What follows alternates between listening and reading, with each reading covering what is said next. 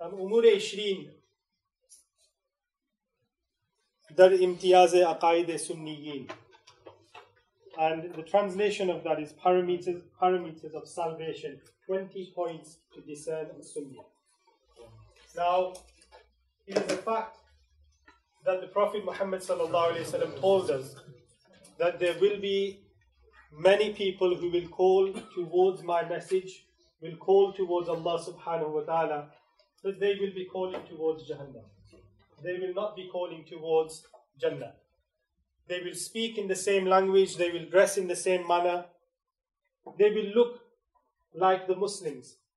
Yet their call will not be towards Allah subhanahu wa ta'ala, but their call will be towards Jahannam. And the, the words of the hadith in Bukhari Sharif, the Messenger of Allah sallallahu alayhi wa said, Du'atun ala abwabi Jahannam.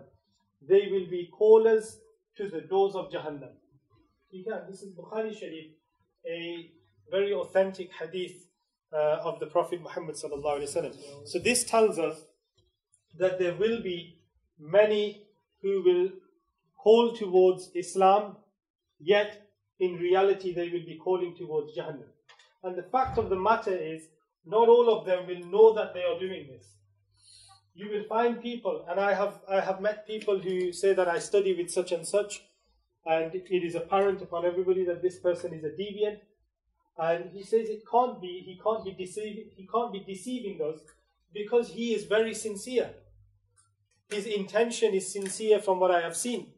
So it can't be. The fact of the matter is Allah subhanahu wa ta'ala says in the Quran, وَمِنَ النَّاسِ مَن يَقُولُ آمَنَّا In the very beginning of Surah Baqarah, after you've recited uh, the, the beginning verses from Alif Lam Mim, you come on to إِنَّ الَّذِينَ كَفَرُوا سَوَاءٌ عَلَيْهِمْ These are the kuffar. And then Allah subhanahu wa ta'ala says, وَمِنَ النَّاسِ From amongst the people, مَن يَقُولُ آمَنَّا بِاللَّهِ وَبِالْيَوْمِ الْآخِرِ You will find people who believe in Allah they believe, they say that we believe in Allah, they say we believe in the final day. It simply means they say that we are Muslims. But Allah subhanahu wa ta'ala then says, وَمَا هُمْ بِمُؤْمِنِينَ And they are not believers. So what does that mean? There are people who say they are believers, but they are not believers. So there's people, people will be who will think that they are believers, they believe in Allah, they believe in the, fact, the books of Allah, they believe in the, the, day of judgment, they believe in destiny, but Allah subhanahu wa ta'ala says that they are not believers. These are the munafiqeen. Those people who are nominal Muslims, they say we are Muslims, yet they are not really Muslims. And Allah subhanahu wa ta'ala goes on to say, Allah says, وَمَا يُخَادِعُونَ اللَّهَ وَالَّذِينَ آمَنُوا they attempt to deceive Allah and the believers. يخادعون الله they attempt to deceive Allah ويخادعون is it يخادعون الله يخادعون الله والذين آمنوا and those who believe so they are attempting to deceive Allah and they are attempting to deceive us the believers okay and the many aslaf who have come and gone and the many other believers in the world. But then Allah subhanahu wa ta'ala says, وَمَا يَخْدَعُونَ إِلَّا أَنفُسَهُمْ They are not deceiving anyone but themselves. وَمَا يَخْدَعُونَ إِلَّا أَنفُسَهُمْ And then Allah subhanahu wa ta'ala says, وَمَا يَشْعُرُونَ Yet they do not realize. They do not realize. So they are deceiving themselves, but they don't know that they are deceiving themselves. They think they are doing good. Do you understand what I'm saying? Because you will find many people who say, oh, um, this person, yeah, he's a Qadiani, but he is very sincere. He works hard. He believes he, he's a nice man. He, his intentions are good. How can he be wrong? The answer is there. They claim to be believers. They don't realize that they are not believers. They don't realize that they are deceiving themselves. Does that make sense? Okay, so this is a fact because it's mentioned in the Quran. And the Quran is a fact more than that which you see in front of yourself. You, get, you can't doubt that which Allah subhanahu wa ta'ala says. And then we have many, many ahadith of the Prophet Muhammad which tell us that near the end of time there will be many who will come. They will say we are believers, that they won't be believers. There will be those who are misguided. The Messenger of Allah وسلم, said, uh, Sayati alaykum zamanun, or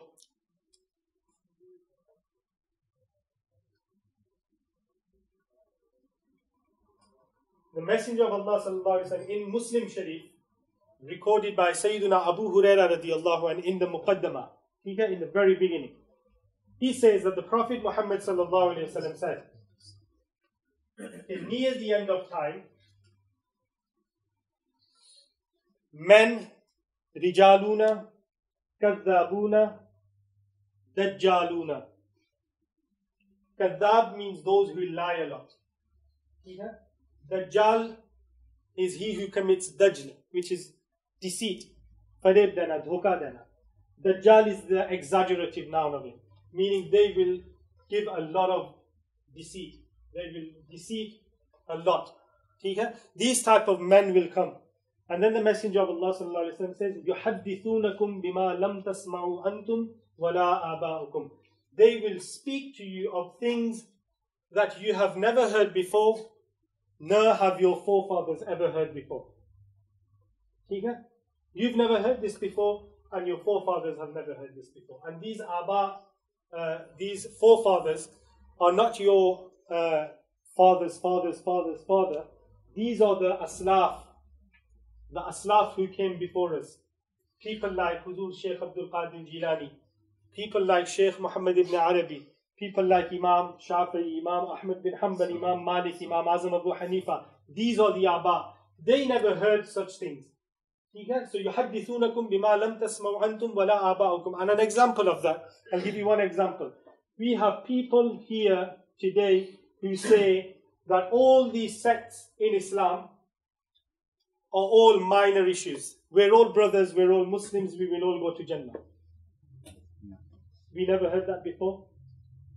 We've always heard Qadianis will go to Jannah. We've always heard Shias who are Rafizis who disrespect the Shaykhain, who uh, accuse Sayyida Aisha radiallahu anha of adultery, they will go to Jahannam. We've heard that those who disrespect the Prophet Muhammad sallallahu alaihi wasallam, like the Wahhabis and Deobandis, they will go to Jahannam. We heard that all throughout our history. Even in the time of the Aimma Kiram, they heard that about the Mu'tazila, they heard that about the Khawarij, that they will go to Jahannam. Now we have a group of people who come to us and say, we're all Muslims, we're all brothers, we will all go to Jannah. Bhai bhai hai. We call them sulah kulli. And we, we, we've, we've heard that word uh, from the time of Imam, Imam Ahmad Raza radiallahu and even before him. There, there were people who brought this new ideology which was not heard before by the Aslaf. Before the Aslaf, this word had never come. Nadwa, for example, Nadwa was one of the, uh, uh, in India, one of the first to bring this type of innovation amongst the people of uh, the subcontinent. We have people like that today. And it is obviously wrong. How can, how can everybody be right? How can the Qadianis go to Jannah and they be right as well and they be, be our brothers? Anybody who swears at your mother or says your mother, mother is an adulterer, whereas she's a pious woman, anybody who swears at your father, disrespects him, you would refuse to accept him as your brother. Yet these scholars accept uh, the Shias, Rafizis, and Qadianis, and all these other Muslim sects as brothers.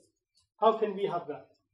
Obviously, that is wrong. It is incorrect. The reason why they do this is because David Cameron gave a speech uh, uh, a month ago, maybe maybe before that, that he wants to eradicate sectarianism in Islam. Okay, which is producing a new sect, adding to it. In reality, it is. You're adding a new sect uh, of David Cameron where all sects are one. If Christians have not eradicated all their different sects, they still have all these different sects, Protestants and Catholics and whatnot. Jews still have so many sects. How in the world is he going to eradicate all the sects in Islam? It's not going to happen. It's one of the most stupidest things I've heard uh, uh, a prime minister ever say. And uh, he made that comment, but there are people who receive funding from the Home Office, from the government, to work for the deen, for Islam, to bring the youth into the community centers, to engage with them, and uh, teach them the moder- moderate Islam so that they are protect- protected from radicalization and these extremist ideologies. They receive funding for that. And in order to receive that funding, you have to uh, comply with what David Cameron says. And, and that's where these type of ideologies come from. That we're all brothers, we're all one Uh, get rid of all this sectarianism. Those who uh, separate sects have a disease in their hearts, for example, like Sheikh Harun Hanif said that. people who uh, separate all these sects, they have a disease in their heart. That's what, that's what he said. So these type of people will come and they will uh, tell you things which you've never heard before, nor have, have our forefathers heard. The Messenger of Allah sallallahu alaihi wasallam said, "يحدثونكم بما لم تسمعوا أنتم ولا آباؤكم."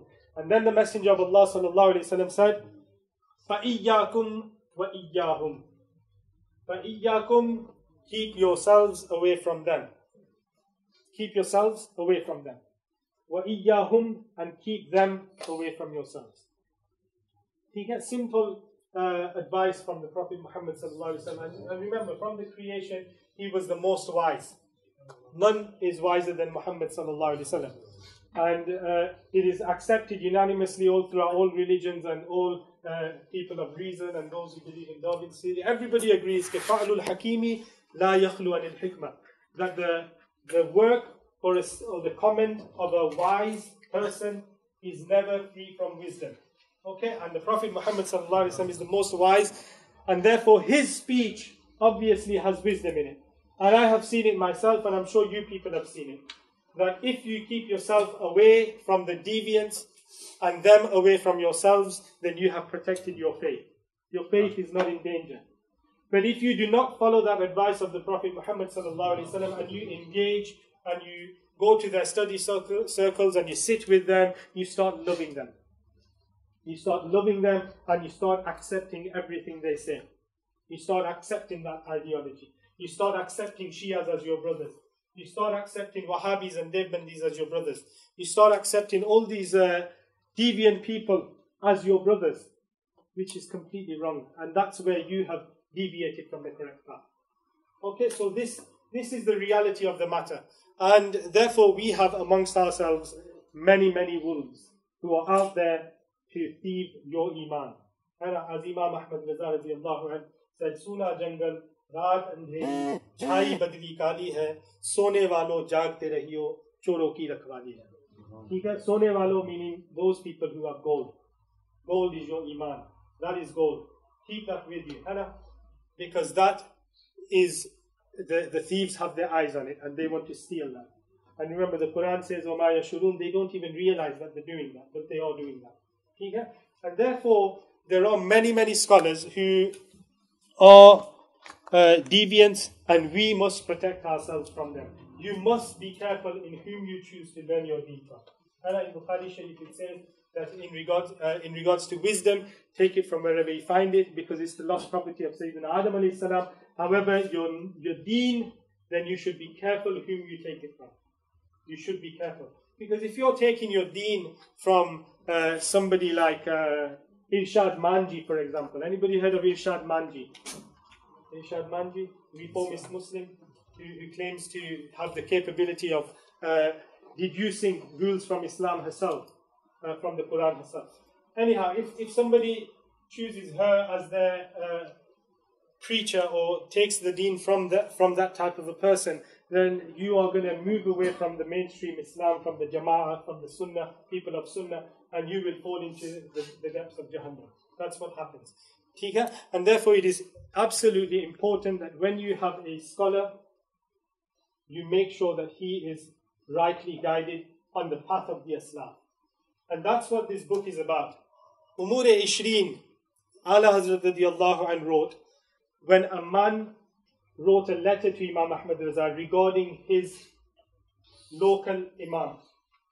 We have an Imam in our masjid if, if, if, those people who haven't read the introduction, you can read that some other time, but I'm not going to go through the introduction. i will just give you the gist of what it is. There's an Imam who does speeches against uh, the Sulah Kullis, he speaks against the deviants. Um, he is very good and uh, he has enlightened us with a lot of knowledge. He, he shares the same teachings as you have been providing us for years. Imam Ahmad Raza, he's saying he's written this letter to Ala Hazrat.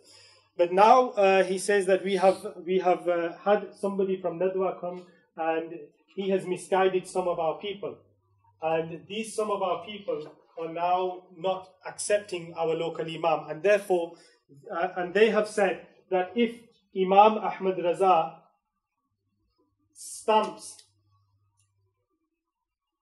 the authenticity of this imam, then we will come back and accept him as our imam. So Ala Hazrat replies that this is a very serious matter for me to authorize him and stamp, uh, uh, give, give him a stamp of uh, authority to say that he is one of ours. I can't just do that without knowing the person well. And I have to first question the person, see if he is really one of ours. I can't just say, yeah, he's one of ours or he's one of just based on what you've told me. So therefore, Allah says that for, for, for that reason, what I have done uh, is I have mentioned 20 points here. If this Imam accepts these 20 points and he can sign at the bottom that he accepts it and he can put his stamp on it, then I will freely and without hesitation stamp my, uh, give him a stamp of authority from me that he is one of us. So these are the 20 points that Allah wrote down. And Ala Hazrat at the end wrote that these 20 points will come in use for all other situations where you need to authenticate a scholar or an imam. Okay? You have to bear in mind that this was uh, specifically in India and specifically at that time. And Ala Hazrat has, has based these 20 points on the time he was living in and where he was living. So maybe somebody would change a few things or add a few points based on the time that has come today. That, that makes sense, doesn't it? Okay? Now, before we start looking at these uh, 20 points, there's something everybody needs to understand. And that is simply the fact that takfir is a necessity in Islam. Takfir, and everybody know what takfir means? Who knows what takfir means? What does takfir mean? That's right, absolutely. When you regard a nominal Muslim as a non Muslim, as a kafir. That is what we call takfir. Okay? And takfir is a necessary aspect of our deen. It is part of your iman to accept that some people are not Muslims, they are kafir. Okay? If somebody believes that Abu Jahl is a Muslim, what do you think happens to his own iman? He doesn't remain a Muslim anymore. Because you accept Abu Jahl as a Muslim. You can't. Because he is a clear kafir. There has to be a clear distinction of kufr and iman. You can only be a believer by believing that which Allah subhanahu wa ta'ala has revealed through the Prophet Muhammad sallallahu alayhi wa That's what makes you a Muslim and a believer and a mu'min. If you believe those things that Allah has rejected and, and uh, Allah subhanahu wa ta'ala has refuted, then you are not a believer anymore. And therefore, we all know, all of us know, that anybody who believes that Sayyidina Isa salam is the son of God, is he a Muslim? No, he's not. And if somebody believes that yes, he is a Muslim, what happens to him? He becomes a non-Muslim. And it's it's common sense. We all know that. That is simply what takfir means. To distinct to, to make a distinction between kufr and iman. Okay? The Prophet Muhammad said that Islam is one body. That's one body. Okay? Islam is one body. If somebody feels harm on one side, then the other, the rest of the Muslims will feel it. Like a body. If I feel pain in my hand, the rest of the body feels it. And the way the rest of the body will feel it is, for example, I'll have to stay awake at night because I can't sleep because of the pain. So the rest of the body shares that pain. If you have a fever, then the whole body feels that fever because you have to go through staying awake at night, taking medicine, things that you don't like. You have to abstain from things that you may like. So the whole body has to go through that.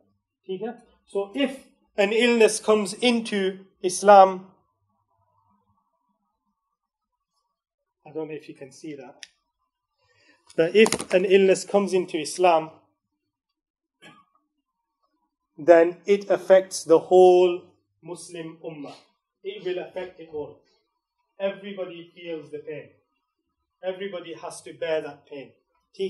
So when you have an illness, what do you do? Take medicine, obviously.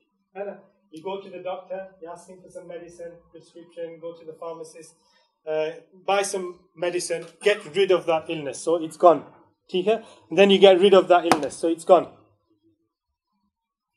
Now, Alhamdulillah, Islam is free from diseases again. The body is sound. And uh, this is common sense.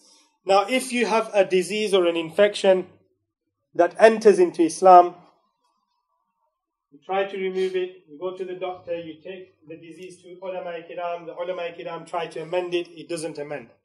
It grows. You try harder, you try ulama kiram, ulama kiram debate, they get into engagement, uh, discussion, they sit, sit on a panel, they try and debate the matter, it's not resolved, it's spreading. It's spreading and it's spreading. This is what happens. People hear the ideology, they want to hear more, they listen to it, they like it in their heart, they think, you know what, I think that's right. You start following that ideology. You get this is what happens. Now think of it in your body. You have an infection, you go to the doctor, they try and cure it, they give you antibiotics, they've not worked. What if they've not worked and the uh, infection is increasing? What happens then?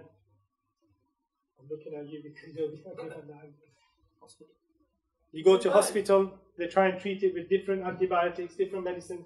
What if no medicine is working and it's just increasing, increasing? You have to say it louder. It makes you weak. It makes the whole body weak, kinda. But what do you do to get rid of it? That's right, absolutely. You have to cut it out. Hannah, you have to cut it out and get rid of it. And say, right, Islam is free from diseases now. Hannah, that's exactly what the key is. Okay? In Islam, the Messenger of Allah وسلم, said that Islam is like a body, and uh, if deviancy enters into Islam, we try and amend it. We debate, ulama kiram get together, they refute, they write answers, and all this happens. And when there is no cure for this, then you have to separate that from Iman and say that this is kufr, this is Iman, these people are kafir, these people are mu'min. Do you understand that? Okay, that's what takfir is. So you have people today who says, oh, takfir, this is, these are takfiris, these people, they call people kafir and this and that. And who, who do they think they are? It's Allah who decides. The, the answer is that Allah has taught us, Allah has given us a Quran and a Hadith, and Allah has given us a messenger who gave us guidelines. We have to, this is part of our Iman. Without this, we cannot be believers. If you don't regard Abu Jahl as a kafir, if you don't regard uh, he who uh, disrespects the Prophet Muhammad like Salman Rushdie, a kafir, if you don't, then you become a kafir yourself. You're joining in, you're causing the increase of that infection. And the Muslim scholars have to, and, and th- this is where uh, it comes. You go to the hospital as, uh, what's your name? Asif. As, as Asif said, you have to go to the hospital. And, uh, and in the hospital, the certified doctors, they do the amputation. Hannah, you don't just go home and chop it up yourself. Do you get? You go to the hospital, certified doctors who have that authority, they will amputate that hand or wherever that infection is that cannot be uh, cured. In the same way, it is the ulama kiram, the certified muftiyan kiram, who will make that decision and pass the fatwa of kufr and say, right, this is kufr separated from the body of Islam in order to protect and safeguard the Muslim ummah. Okay? So this takfir is not in order to bash at somebody or to uh, disrespect somebody or insult somebody. It is actually to safeguard the iman of all the other Muslims. So the person who's doing this, he is a protector of, of the believers. And that is what Imam Ahmad Raza anhu was. He was a protector of the believers. He carried this act out all throughout his life. He protected the Muslim Ummah. That is why he is known as the, the reviver, the great reviver, Mujaddid Azam. Okay? Ala Hazrat Imam Ahmad Raza anhu. Now, that's the. Uh, I know the diagram's not that attractive or anything, but I'm, I'm sure it's easy to understand. Okay? So that, that's, a, that's the uh, important thing you need to understand about takfir and why it's important. Because you will have many people who say to you that, oh, you can't call anybody a kafir and this and that. Allah decides that. Allah has told us that. Like I mentioned in the beginning, the verse from Surah Baqarah, tells us Allah told us that they are not believers. And uh, Allah subhanahu wa ta'ala in the Quran regarding those who disrespected the Prophet Muhammad sallallahu alaihi wasallam. In the Quran, uh, there is a verse uh, the, the part of the verse that, that I want to mention is قَدْ كَفَرْتُمْ بَعْدَ إِيمَانِكُمْ Allah subhanahu wa ta'ala said. And who was this, this two? Uh, the, one a Sahabi or a Bedouin came to the Prophet Muhammad sallallahu alaihi wasallam and he says, Ya Rasulullah sallallahu alaihi wasallam, I have lost my camel. I can't find my camel. And, and uh, this is mentioned by uh, Sayyidina Imam Jalaluddin as-Suyuti radiallahu anhu. He says, he says that I can't find my camel. So the Messenger of Allah sallallahu alaihi wasallam said, eh, your camel is in such and such a place. Yeah? Subhanallah. The Sahabi, the Bedouin knows that the Prophet, he is a messenger of Allah, seek help from him. So he seeks help from him. And then the Prophet ﷺ advises him, this is where your camel is. Now there were some munafiqeen, some amongst them who laughed. Yeah, they laughed and they said, What does Muhammad know where the camel is? What does he know from the ghaib, from the unseen? Yeah, this is what they said. Now, this is disrespectful. Of course, it's disrespectful. It's disrespectful to the Prophet Muhammad.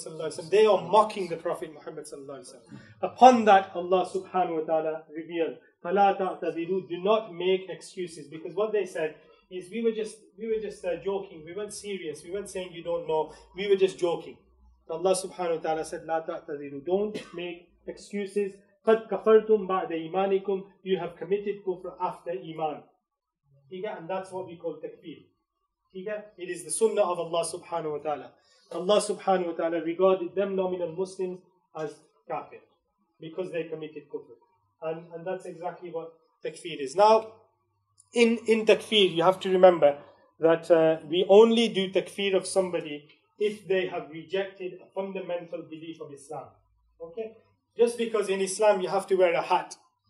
As Muslims, we wear hats. But because you're not wearing a hat, you're a kafir, you can't do that. There's set principles. You reject something fundamental in Islam, that's when we say the person has become a kafir.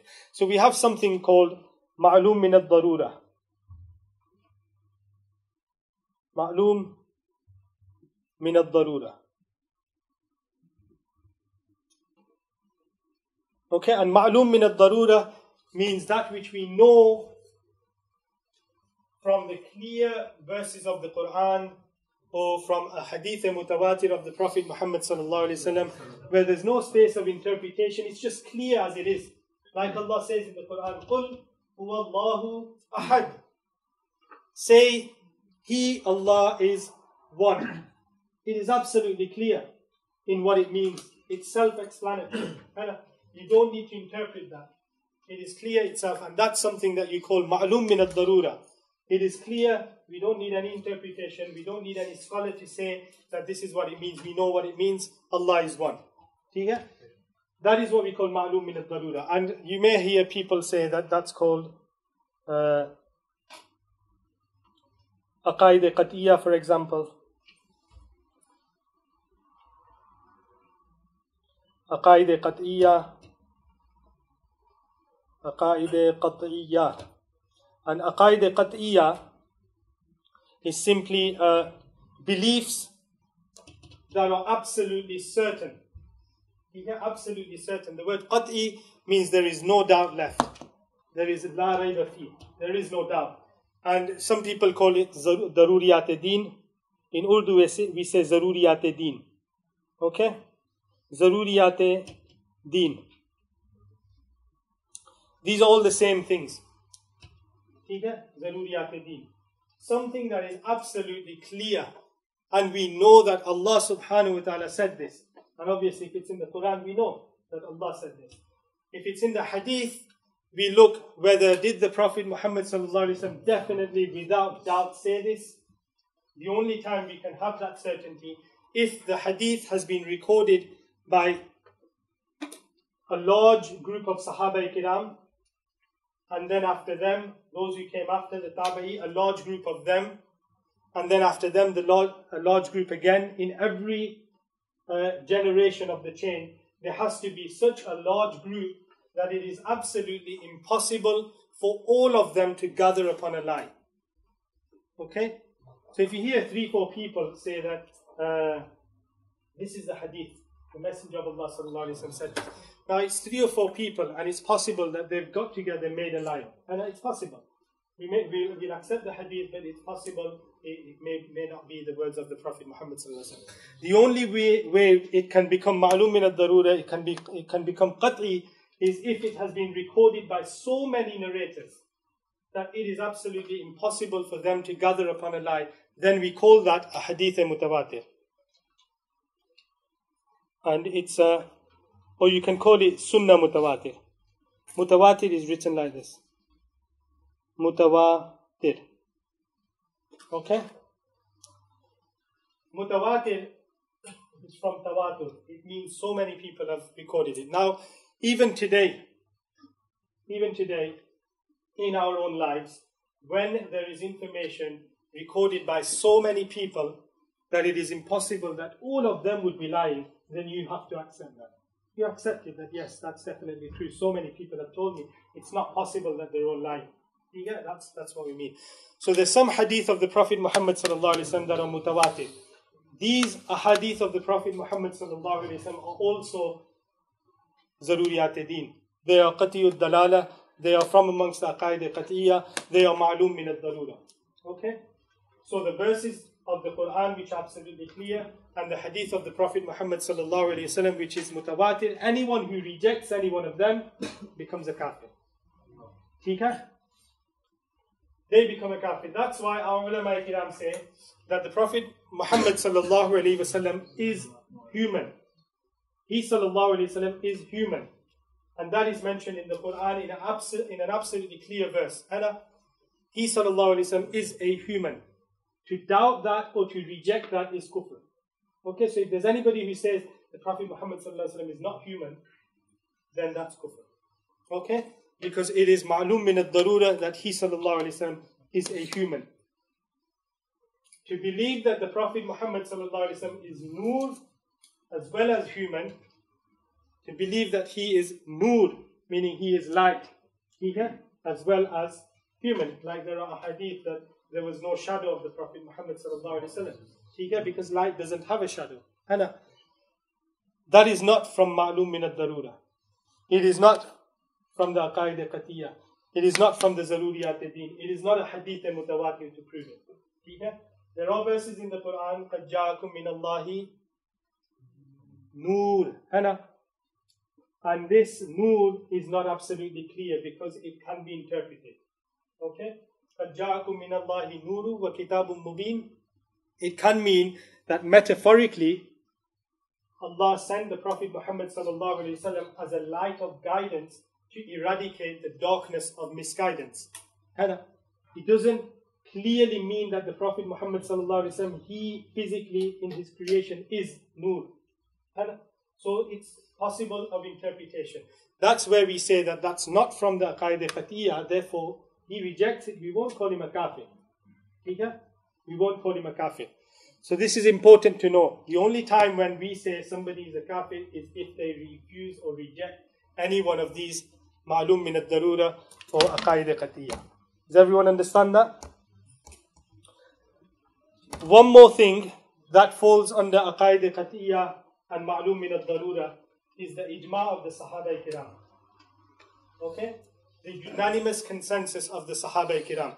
If all of the Sahaba kiram unanimously accept something, then that becomes ma'lum min al-darura. Okay? Does everyone understand that? I'll give you an example to, to help you understand. Um, in the Quran, Allah subhanahu wa ta'ala says, that the Prophet Muhammad sallam is Khatamun Nabiyyin. He is Khatamun Nabiyyin. Now, Khatam means a seal. It's a seal. Nowhere in the Quran does it say that the word Khatam in this verse means he is the last and there will be none after him. It doesn't say that in the Quran. All the Quran says that Muhammad wasallam is Khatamun Nabiyyin. Now, the hadith of the Prophet Muhammad says. So now, what it means is that we have to accept Muhammad is Khatam.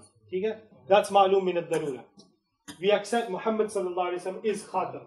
We can't reject that. But what does Khatam mean? Qadiani say Khatam means Afdalul Anbiya, the most superior, which means anyone who comes after, he doesn't affect it because he's still superior. That's exactly what Qasim Nanotwi wrote, In his book Tahzirun Nas, he wrote that the word uh, Khatam is in a place where the praise of the Prophet Muhammad is happening. The praise. And to be the last prophet and to come after every other prophet, there's no praise in that. If you came last after everybody, it doesn't praise the Prophet. Therefore, it can't mean that he is the last. It has to mean something that shows praise of the Prophet. And therefore, he says that the word khatam means afdal, most superior. And that's why he says, after that, he says, Therefore, if we suppose any other prophet was to come after him, whether in his time or in our time, whether in his place or in India, then it would not affect the khatamiyya of the Prophet because it doesn't mean last, it means most superior. Does everyone understand that? That's what they took the meaning of khatam. But khatam in the Quran, they all accept he is khatam, but they change the meaning of khatam. Now, the hadith of the Prophet Muhammad says, he said, Ana khatamun nabiyyin, la nabiyya ba'di. I am the khatam of the prophets. There is no prophet after me, which is clearly a shara of the previous sentence. It explains the previous sentence, which means khatam means that there is no prophet after me. Khutima biya rusul. He said in another narration that through me Allah has ended messengers. There's no other messenger to come after me. And then there's hadith that if there was a messenger after me, then it would be Umar radiallahu And uh, so these hadith show that the meaning of the word khatam in the Quran means that the Prophet Muhammad is the final prophet. However, these ahadith are not mutawatir. Okay? They are not mutawatir. What does that mean? That means you can't call the person a kafir if he rejects that. so now we have an issue.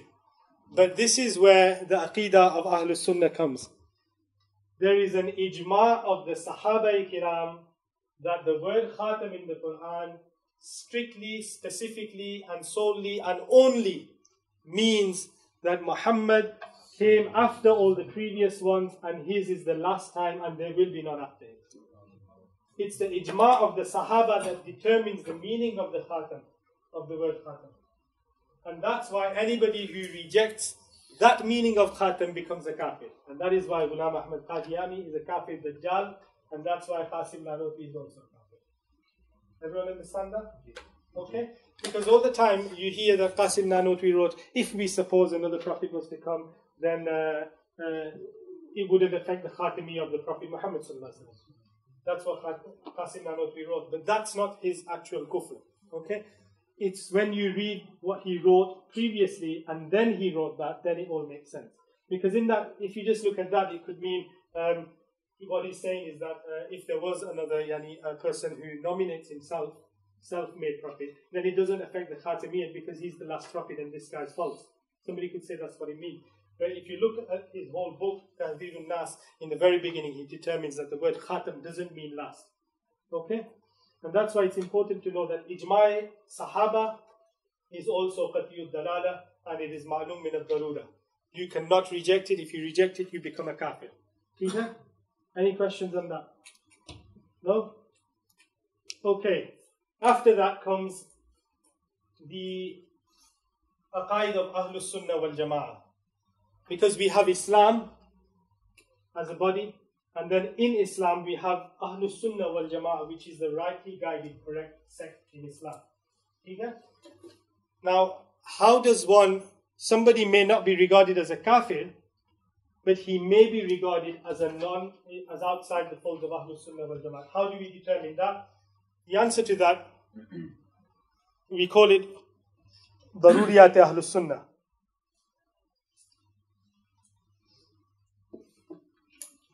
Okay, Daruriyat Ahlul Sunnah. And, and the whole is Daruriyat Ahlul Sunnati wal Jama'ah.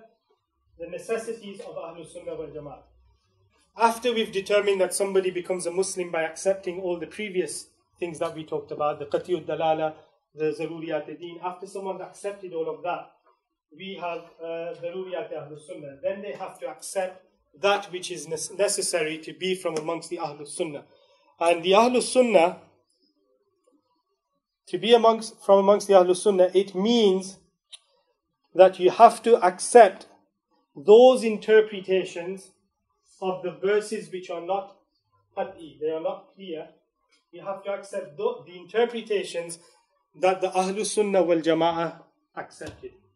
The ulama kiram, the aslaf that came before us, the interpretation that they accepted is what you have to accept. It is from the Daruriyat Ahlul Sunnah that when the Salaf, the previous scholars, unanimously agreed on a specific interpretation of a verse of the Quran which was not absolutely clear, then to accept that is from Zaruriyat Ahlul Sunnah. Okay, so for example, let's look at the verse of Noor. Okay, so we said that it's not absolutely clear, it's not qati. So then we come on to Daruriyat Ahlul Sunnah.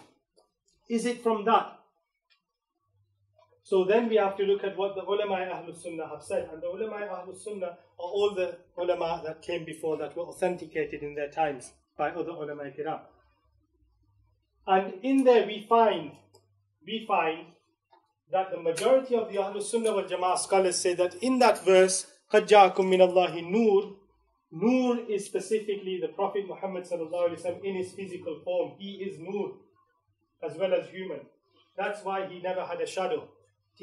That's why he was so bright that when it was dark, Sayyidina Aisha radiallahu anha could find a needle on the floor when there was no light. Because he was Noor as well as human. However, there are some from amongst the Ahlul Sunnah wal Jama'ah who said that the Prophet Muhammad was not Noor physically. Okay, and therefore, therefore we say that the correct opinion in the Ahlul Sunnah is that the Prophet Muhammad was Noor but it doesn't become from amongst the Daruriyat Ahl Sunnah because there's no consensus on it. Okay? And that's why you may find in the Middle East there are some scholars who are Sunni, they have the beliefs that we have, but in some issues they may hold a slightly different opinion, but it's fine because it's from amongst our beliefs, although we believe it's incorrect, it is from the Ahlul Sunnah wal Jama'ah.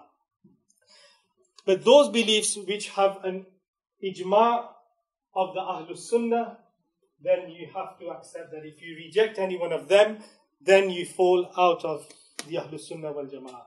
Then you're regarded as a mubtadi'. A mubtadi' is a misguided person. And the reason why I, have written mubtadi' there is because that's the word the Prophet Muhammad used for those who we call misguided today. He said they are mubtadi'een. He called them ahlul bidah. ठीक है अहलुल बिदा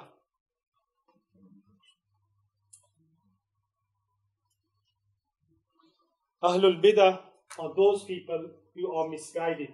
ठीक है? Yeah. Mubtadi' it's misguided. Yeah, misguided. Mubtadi' is a person who innovates or believes in innovative beliefs. A new belief, something that we did not believe before, but now he believes it. For example, all of the Ahlul Sunnah wal Jama'ah scholars unanimously agree that Muhammad sallallahu alayhi wasallam is Shafi. He is Shafi, he is Mutashaffa. He will intercess, intercede, and his intercession will be accepted. He does intercede, his intercession is accepted. As is in the verse, وَلَوْ أَنَّهُمْ إِذْ ظَلَمُوا أَنفُسَهُمْ It's clear that Allah has ordered the believers to come to the Prophet Muhammad وسلم, and if the Prophet Muhammad وسلم, seeks forgiveness for them as an intercession, he intercedes for them, then they will find the wajadullah tawwab rahima. They will find that Allah will accept their repentance and forgive them. You, will find Allah merciful. So that shows that shafa'ah will occur. And the, Daruriyat Ahlul Sunnah is to believe that the, that the Prophet Muhammad does perform shafa'ah and he will perform shafa'ah. Okay?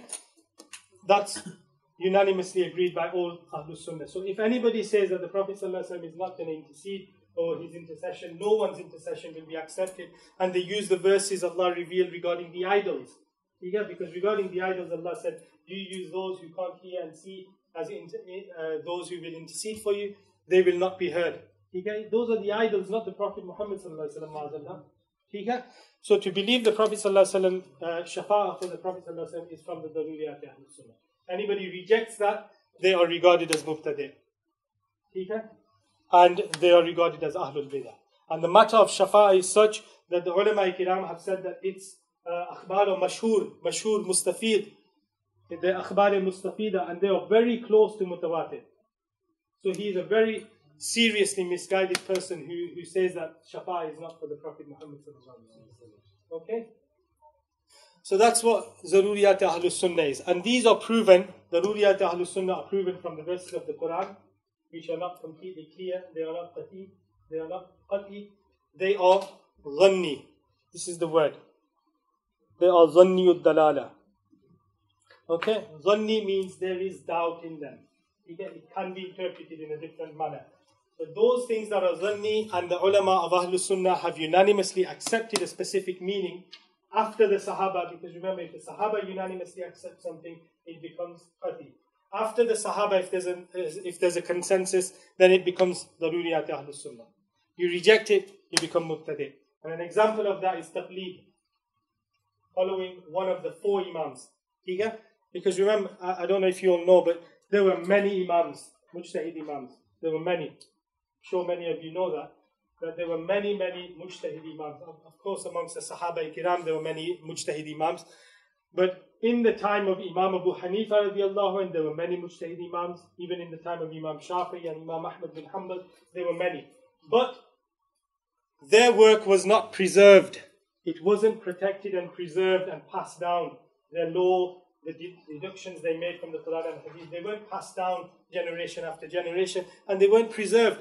And therefore, in the fourth century of Islam, we will have a break shortly, so bear with me. In the fourth century of Islam, and some ulama have said it was the fifth century, all the ulama of the Ahlul Sunnah unanimously agreed that every single Muslim who is not a mujtahid himself, he must follow only one of the four schools of thought that have been preserved. Okay? You have to be either a Hanafi, a Shafi'i, a Maliki, or a Hanbali. You have to follow one of them four. Okay? And this was a unanimous consensus of the Ahlul Sunnah wal Jama'ah. This made it necessary in the deen.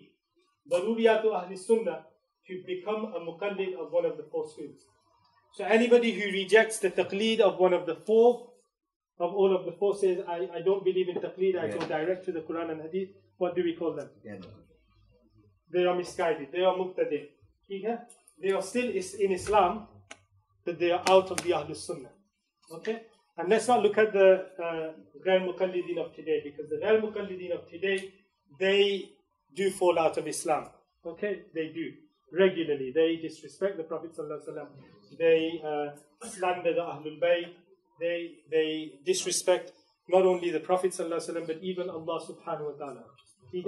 So, putting that aside, just looking at those who just refuse the taqleed of one of the four, we call them mubtadi, misguided people.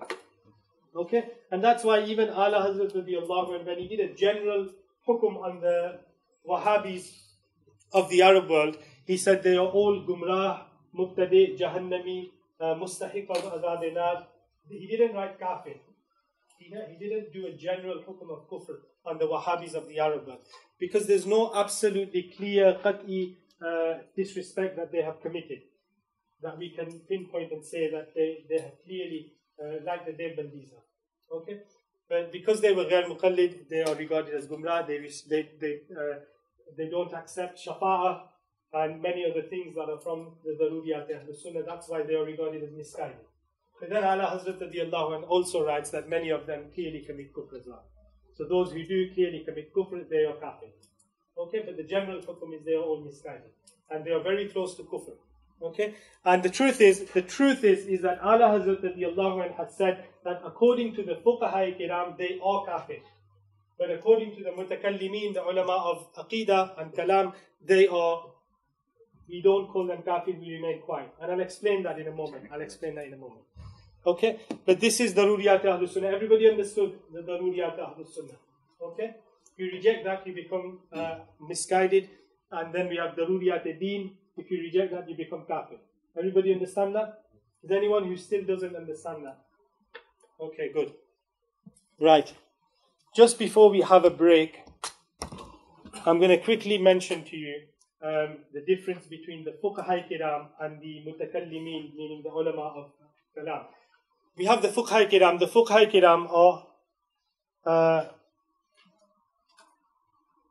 the scholars of jurisprudence, the fuqaha. Okay? And yeah, in Arabic you don't write a ha like that, sorry. This is in Urdu. So in Arabic it has to be a ha. The fuqaha are the scholars of jurisprudence, Islamic law. And we have those who are known as the mutakallimin. And the mutakallimin are the scholars of ilm kalam. Kalam is the those who uh, engage in, in understanding the beliefs of the, uh, the beliefs of Islam, the aqaid of Islam. So we have practical law and we have beliefs of Islam. And the fuqha kiram and the mutakallimin, they differ on many, many matters in aqaid. And uh, there's a lot about it, but just for you to understand, and what's important for you to understand, is in one matter that I'm going to explain now. There are two types of uh, actions or statements. When somebody commits an action or, a, or makes a statement, we say that it is sarih. Sarih with a sad. Sarih means clear. Okay? Or we say it is ghayr sarih. Ghayr sarih means it is unclear. Okay, غير sarih means it's not clear. So when somebody says something, um, we look at his statement and we say, is it clear? Is it not clear? If it is clear, then do we call him a kafir? He's rejected it, or do we not? If it's unclear, then we give him benefit of the doubt. And we say he probably doesn't mean that. He probably means something else. Okay? Because it's unclear. So if it's unclear, we can't really label the person as as a non-Muslim or a misguided person or he's wrong. We can't do that because it's not clear. He, we, we should try and uh, prove him to be right, in fact. Okay? Obviously, you ask him what he meant, and that determines the whole matter. But if you don't have access to asking him, you should always think good. Okay? And Huzur Hafiz Millat, radiallahu uh, the founder of Al Jamiatul Ashrafiyya Mubarakpur, the student of Huzur Sadr Sharia, he used to say that when a believer says something, then do everything you can to try and prove it correct. Do everything you can to try and prove it correct. For example, if a man says, okay, there will be a glass of water here in two minutes, and you see that the time's passing, there's no glass of water, you should stand up, go and get that glass of water and put it there. Just so that he is not wrong. Because a believer is right. That's what Hafiz Millat radiallahu anh means. So, so when something is ghair sarih, don't blame him ke oh, usne ye diya, this, that. Try and prove that he probably means this. Uh, give him the benefit of the doubt. Then when something is sarih, sarih is when something is clear. Then what do we do? If something is sarih, it means that it is clear. What he's saying is clear. There are two types of sarih. It's split into two different parts. We say that there is sarih, and this is the same as the, the bahas of luzum and iltizam. Have you uh, probably heard kufr luzumi, kufr iltizam? This is the same, this is exactly what it is. Sarih has two types. Mutabayyan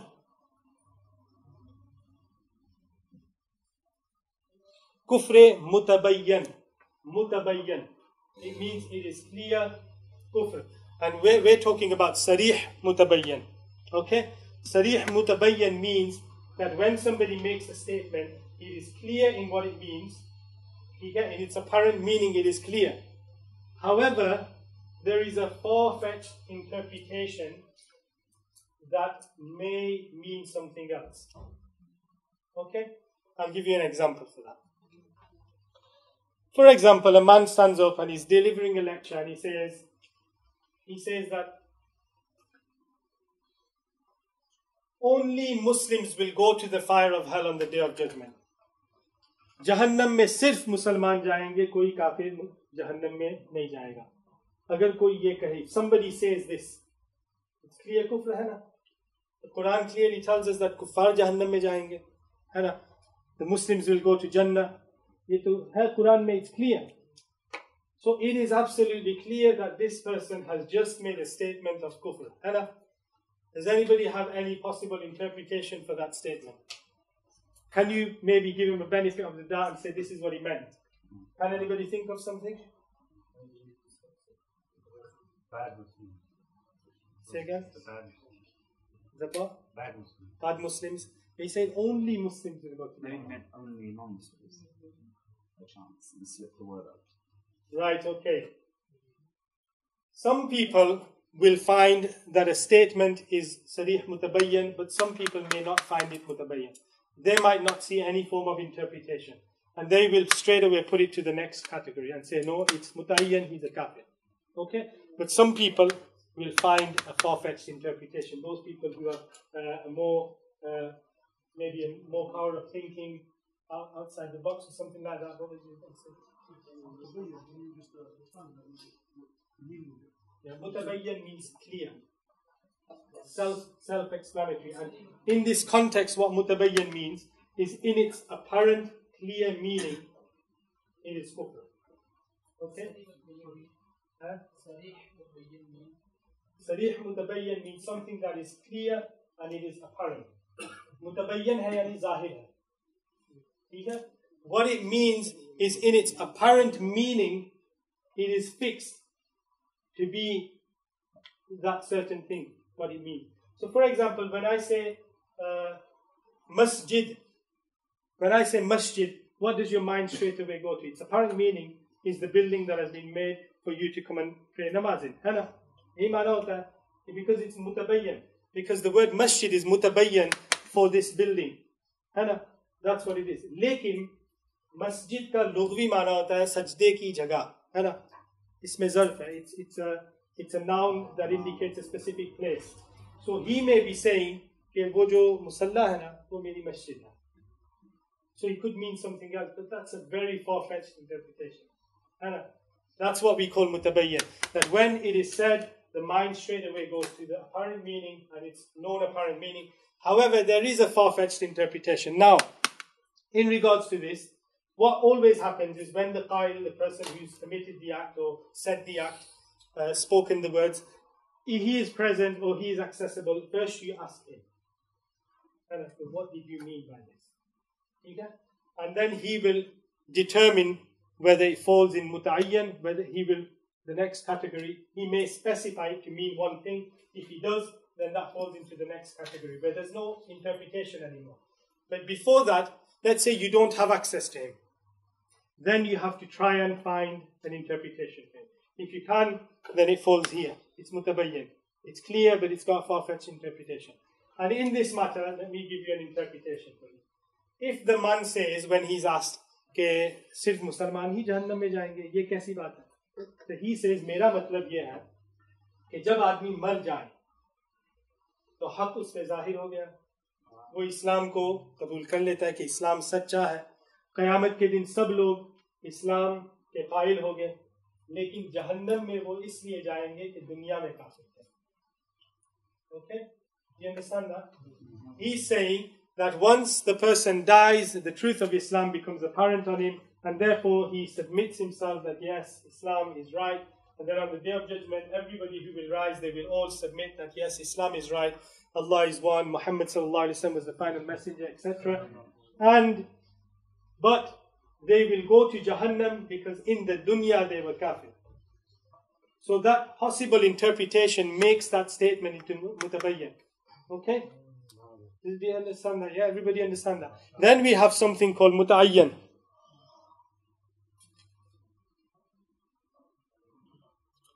Muta'ayyan is when the meaning is ayn, what he said. Ayn means it is exactly as he said, and there is absolutely no possible interpretation for it. कोई तावील ही नहीं है there is no interpretation you can't interpret it ठीक है you can't give him the benefit of the doubt because it only means that one thing ठीक है when something is mutabayyan and there is a possible interpretation then we will ask for the intention of the person And uh, if we can't um, get him to clarify, is that like a holding place which is still kufr until otherwise? Good, you reminded me. I've not finished the actual matter, but I will come to that. Okay, I will come to that. Okay, there's a possible interpretation. We will ask him for his intention. But here, there is no possible interpretation. So, regardless of whatever his intention is, he's made that statement. It doesn't mean anything other than what he said. Therefore, khalas. He's misguided if that's what the statement is, or he's kafir if if that's what the statement is. Okay? Because there is absolutely no form of interpretation. Does everybody understand that? Okay? कोई तावील की जगह ही नहीं है. For example, if a person says कि Allah, uh, I believe in Allah, but I believe in three of them. There are three Allahs. ठीक है, one controls the uh, such and such, the other controls the weather. that's clear kufr. You can't interpret that. And, that falls into muta'ayyan. We don't need to know his intention. It's happened, it's happened. It's like a person with a with a bucket of alcohol, or let's say a glass of alcohol. Okay? First thing is to, to, to lift alcohol, to take it from one place to the other is all haram. Okay? Now to dispose it, the person picks it up. So that's fine. If he's you, if he's picking it up in order to dispose it, to get rid of it, then that's fine. So he sees that there is a, a waste bin over there.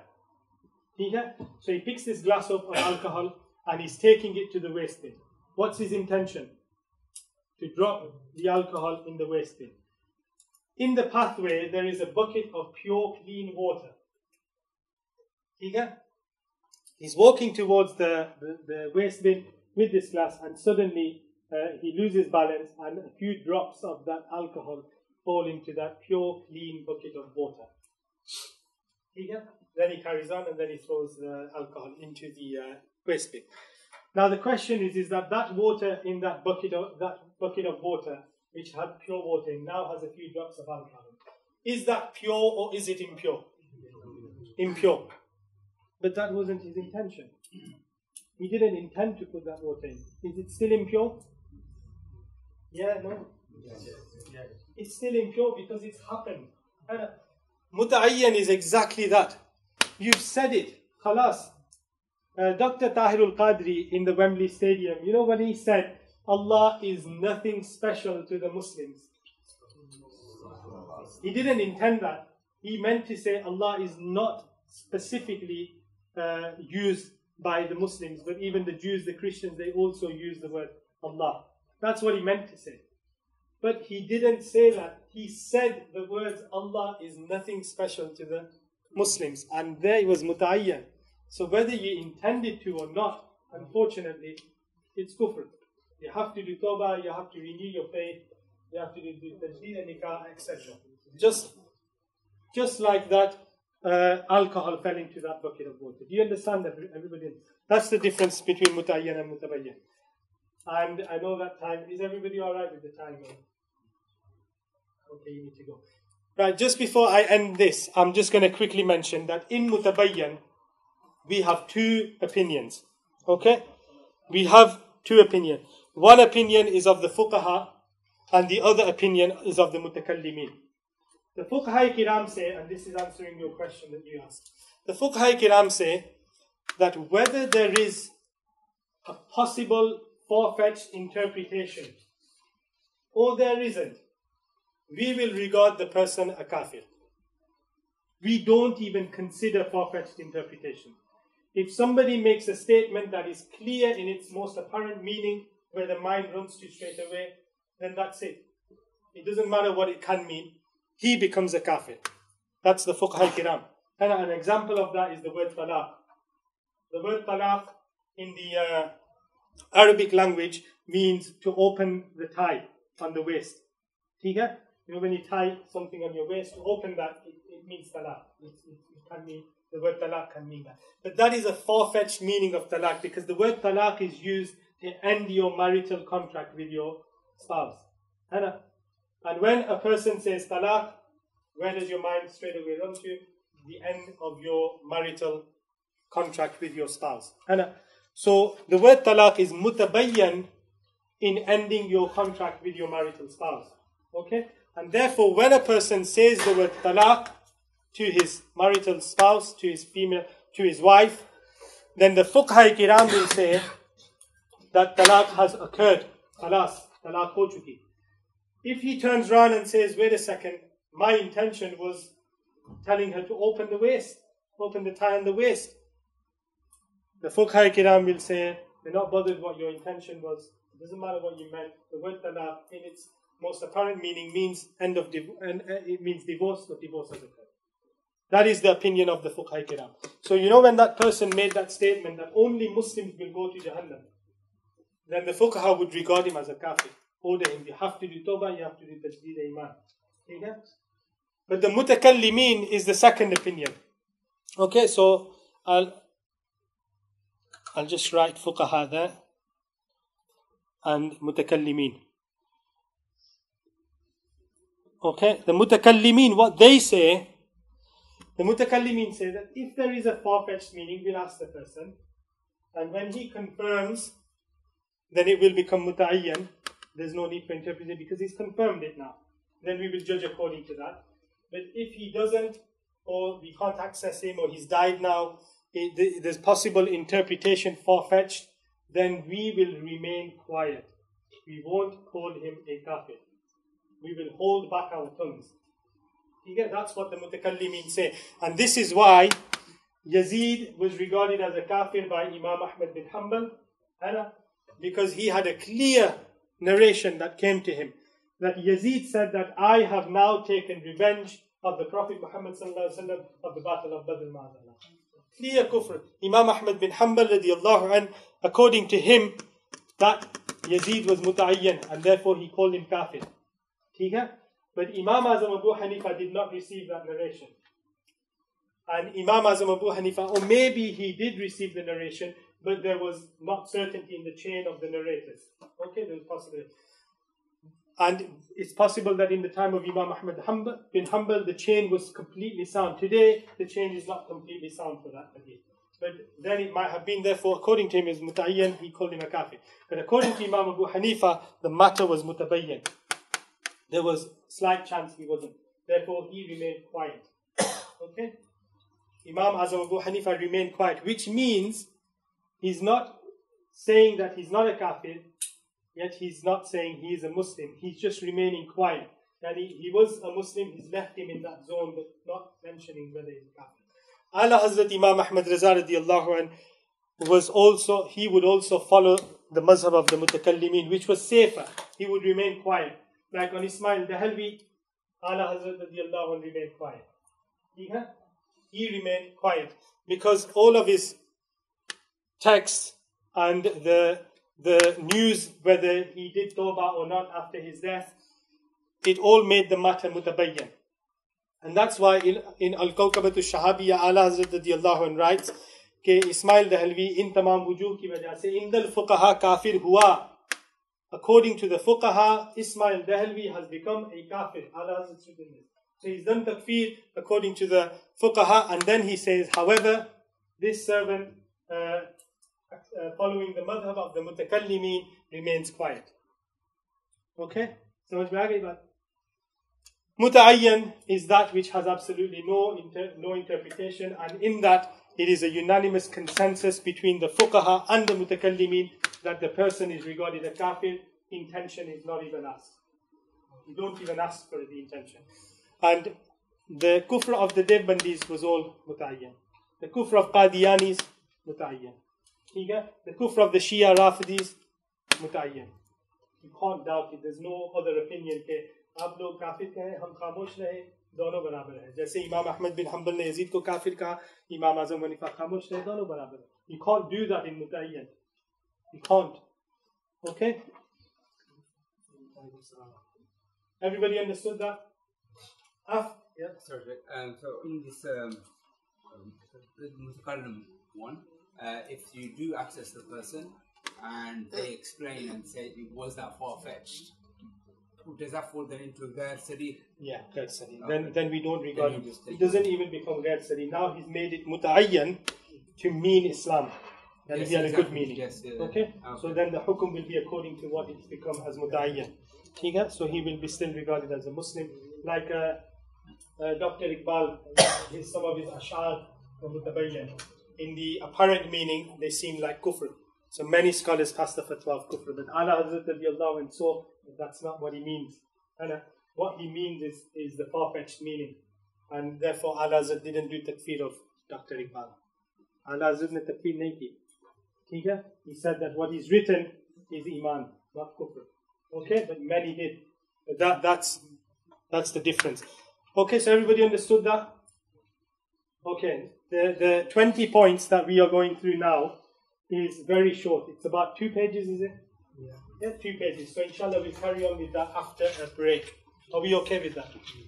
Okay? Okay, assalamu alaikum wa rahmatullahi wa barakatuh. Okay, so after understanding the uh, previous uh, session, it should become easier to understand the text that we, we shall be reading now. So it'll be easier to understand and uh, follow the text. Um, so these are the 20 points. As I said the introduction, you can read in your own time what exactly happened. We're, we're going to concentrate on specifically these 20 points. And before I begin, can I just ask uh, how much time we have? And it's you lot we decide. Because you lot have got to sit here. I think it's covered there. Okay, somebody else? Anybody? 10 minutes, 5 minutes, 20, 30? In touch. Okay, I'll try and keep it as brief as I can. Okay, okay so point number one. Can you please read that point? Loudly and clearly so everybody can hear. Bismillah. Sayyid Ahmed Khan of Aligarh and his followers are all kafir. Okay, so the first point says Sayyid Ahmed Khan of Aligarh and his followers are all kafir. And if you go into the uh, footnotes, it tells you when he was born uh, in 1817 and died in 1898. I'm just going to briefly tell you, um, trying to uh, keep it brief. Is uh, Sayyid Ahmed Khan, he was knighted as well. He was called Sir Sir Sayyid Ahmed Khan. Although we don't regard him as Sir, and we don't regard him as Sayyid, but that's what he was known as. Okay, so when I'm saying Sayyid Ahmed Khan, it doesn't mean I accept him as Sayyid. Okay, Ala Hazrat when he said Molvi Ashraf Ali Thanvi, it doesn't mean he accepted Ashraf Ali Thanvi as a Molvi. Okay, it's what he was known as. When our ulama kiram say Shaykhul Islam Ibn Taymiyyah, it doesn't mean they believe that he is Shaykhul Islam. It means that's what he was known as. Okay, so same same thing here. Um, Sayyid Ahmed Khan, um, he was a reformist Muslim. Has anybody heard the term reformist Muslim before? No? Um, we've all heard of moderate Muslims. And in this day and age, there's this new terminology uh, labeling the safe and good Muslims as moderate Muslims. Yeah? And what I can say about that is simply the Prophet Muhammad showed us the deen hanif. Okay? And moderation. Hanif means moder- moderate. Okay? And he sallallahu once drew uh, a line with his uh, blessed uh, staff and he drew a line on the floor and then he drew two lines on the side and he said the middle one that's the deen hanif that's the middle path and that's what you should stick to okay to me that's what we call moderation and we are moderate muslims are sunnah wal jama'ah. This new terminology that they use I, I don't know what they use it for. They, they use it to mean that somebody who's happy with everybody. Yeah we don't accept that type of moderate islam. We accept the deen hanif the middle path the, the path that the Prophet Muhammad taught us. And remember, the Prophet forbade ifrat and tafrit. Ifrat is to uh, ifrat and tafrit is to either exaggerate something or to uh, what's the opposite of exaggeration? Someone or do the opposite of exaggeration. Okay, you have to take the middle path. Okay? When you do wuzu, for example, you don't use so less water that you can't fulfill the sunnah and you don't use so much water that uh, you waste water. You use the right amount. That's what we call dina the middle path. That's saving yourself from ifrat and tafrit, and that's what I understand from a moderate Muslim. That's who we are. Okay? there is another term, term uh, reformist Muslims. And I don't know if I mentioned before, but Irshad Manji. Has anybody heard of this woman called Irshad Manji from Canada? From Canada, Australia. Yeah? Irshad Manji calls herself a reformist Muslim. Okay? Um, this ideology of reforming Islam is, is completely wrong because you can't reform Islam. Islam is already formed by Allah subhanahu wa ta'ala. You may reform yourself uh, to, to match the teachings of Allah and the Prophet Muhammad sallallahu alaihi wasallam. Anyhow, um, what these people believe is that we should all exercise free thinking. Free thinking. We should think for ourselves, use reason to understand things, and deduce the verses, uh, deduce rules and understandings from the Quran ourselves. We don't need to follow the mullahs. This is what she said. This is what uh, Sayyid Ahmad Khan used to believe. He used to say that we need to reinterpret the Quran. Reinterpret. So he's not happy with the previous interpretation. Why are you not happy with the previous interpretation? Because it's not my own free thinking. They want to have freedom of thought, uh, freedom of thinking for themselves. And Sayyid Ahmad Khan, using this ideology, what he did was he interpreted the verses of the Quran to mean what he understood for his own thoughts. And for example, he uh, interprets uh, the verses about the malaika. He says there is no such thing as malaika. In the Quran, where Allah subhanahu wa ta'ala says malaika, it means goodness, all the good that happens in this world. So when you are, when you wake up in the morning and you uh, come out of your house, you think to yourself, shall I go to the masjid? Shall I go to, ma'azallah, the cinemas? And the, the voice that tells you go to the masjid, the thought that's malaika. And the, the thought and the voice that tells you go to the cinema, that's shaitan. That's jinnat and shaitan. That's what he said. He said there's no such thing as physical uh, existences of malaika and angels he rejected the existence of Sayyidina Jibreel He said Jibreel alayhi is just the name given to the thoughts that came into the mind of the Prophet Muhammad sallallahu alayhi. And when the wahi traveled from Allah to the Prophet Muhammad sallallahu alayhi without any means, that traveling is known as Jibreel. He rejected the, the existence of Jahannam and Jannah. He said there's no such thing as Jahannam and Jannah. What he said is uh, when you do a good act, you've helped somebody, and then you come home and there's a gift waiting for you. A really good gift, and you're really happy. That's Jannah for you. That's your Jannah. You do a bad thing and you're walking and you trip over and you hurt yourself, that's your Jahannam. This is the ideology of Sayyid, uh, Sayyid Ahmad Khan. And therefore, Ala Hazrat radiallahu obviously said that Sir Sayyid Ahmad Khan, uh, Sayyid Ahmad Khan of Aligarh and his followers who believe uh, he is a believer, they are all kafir. Because his kufr is muta'ayyan, it's clear he's a kafir and all of his followers. Got any questions on that? It's, it's simply straightforward. Remember, um, this free thinking uh, causes chaos. When people start thinking for themselves uh, in, in the matters of the Quran, deducing rules of the Quran, it causes chaos. First of all, let's, let's look at this woman called Irshad Manji you are saying that you shouldn't accept anybody's interpretation of the Quran. You should look at the Quran yourself, look at the verses, and think for yourself. Okay? So, my first question would be Do you understand the Arabic language? Unfortunately, the answer is no. So how can you look at the Quran yourself without using anybody else's interpretation? Do you understand what I'm saying? Because every single linguistic scholar unanimously, they all agree that it is absolutely impossible to transfer one language into another language without the translator interpreting it himself. The translator interprets, and every translation you pick up, it's an interpretation of that translator. So, how can you be so stupid to claim that you are going to go direct to the Quran and think for yourself, yet you don't even understand the language of the Quran?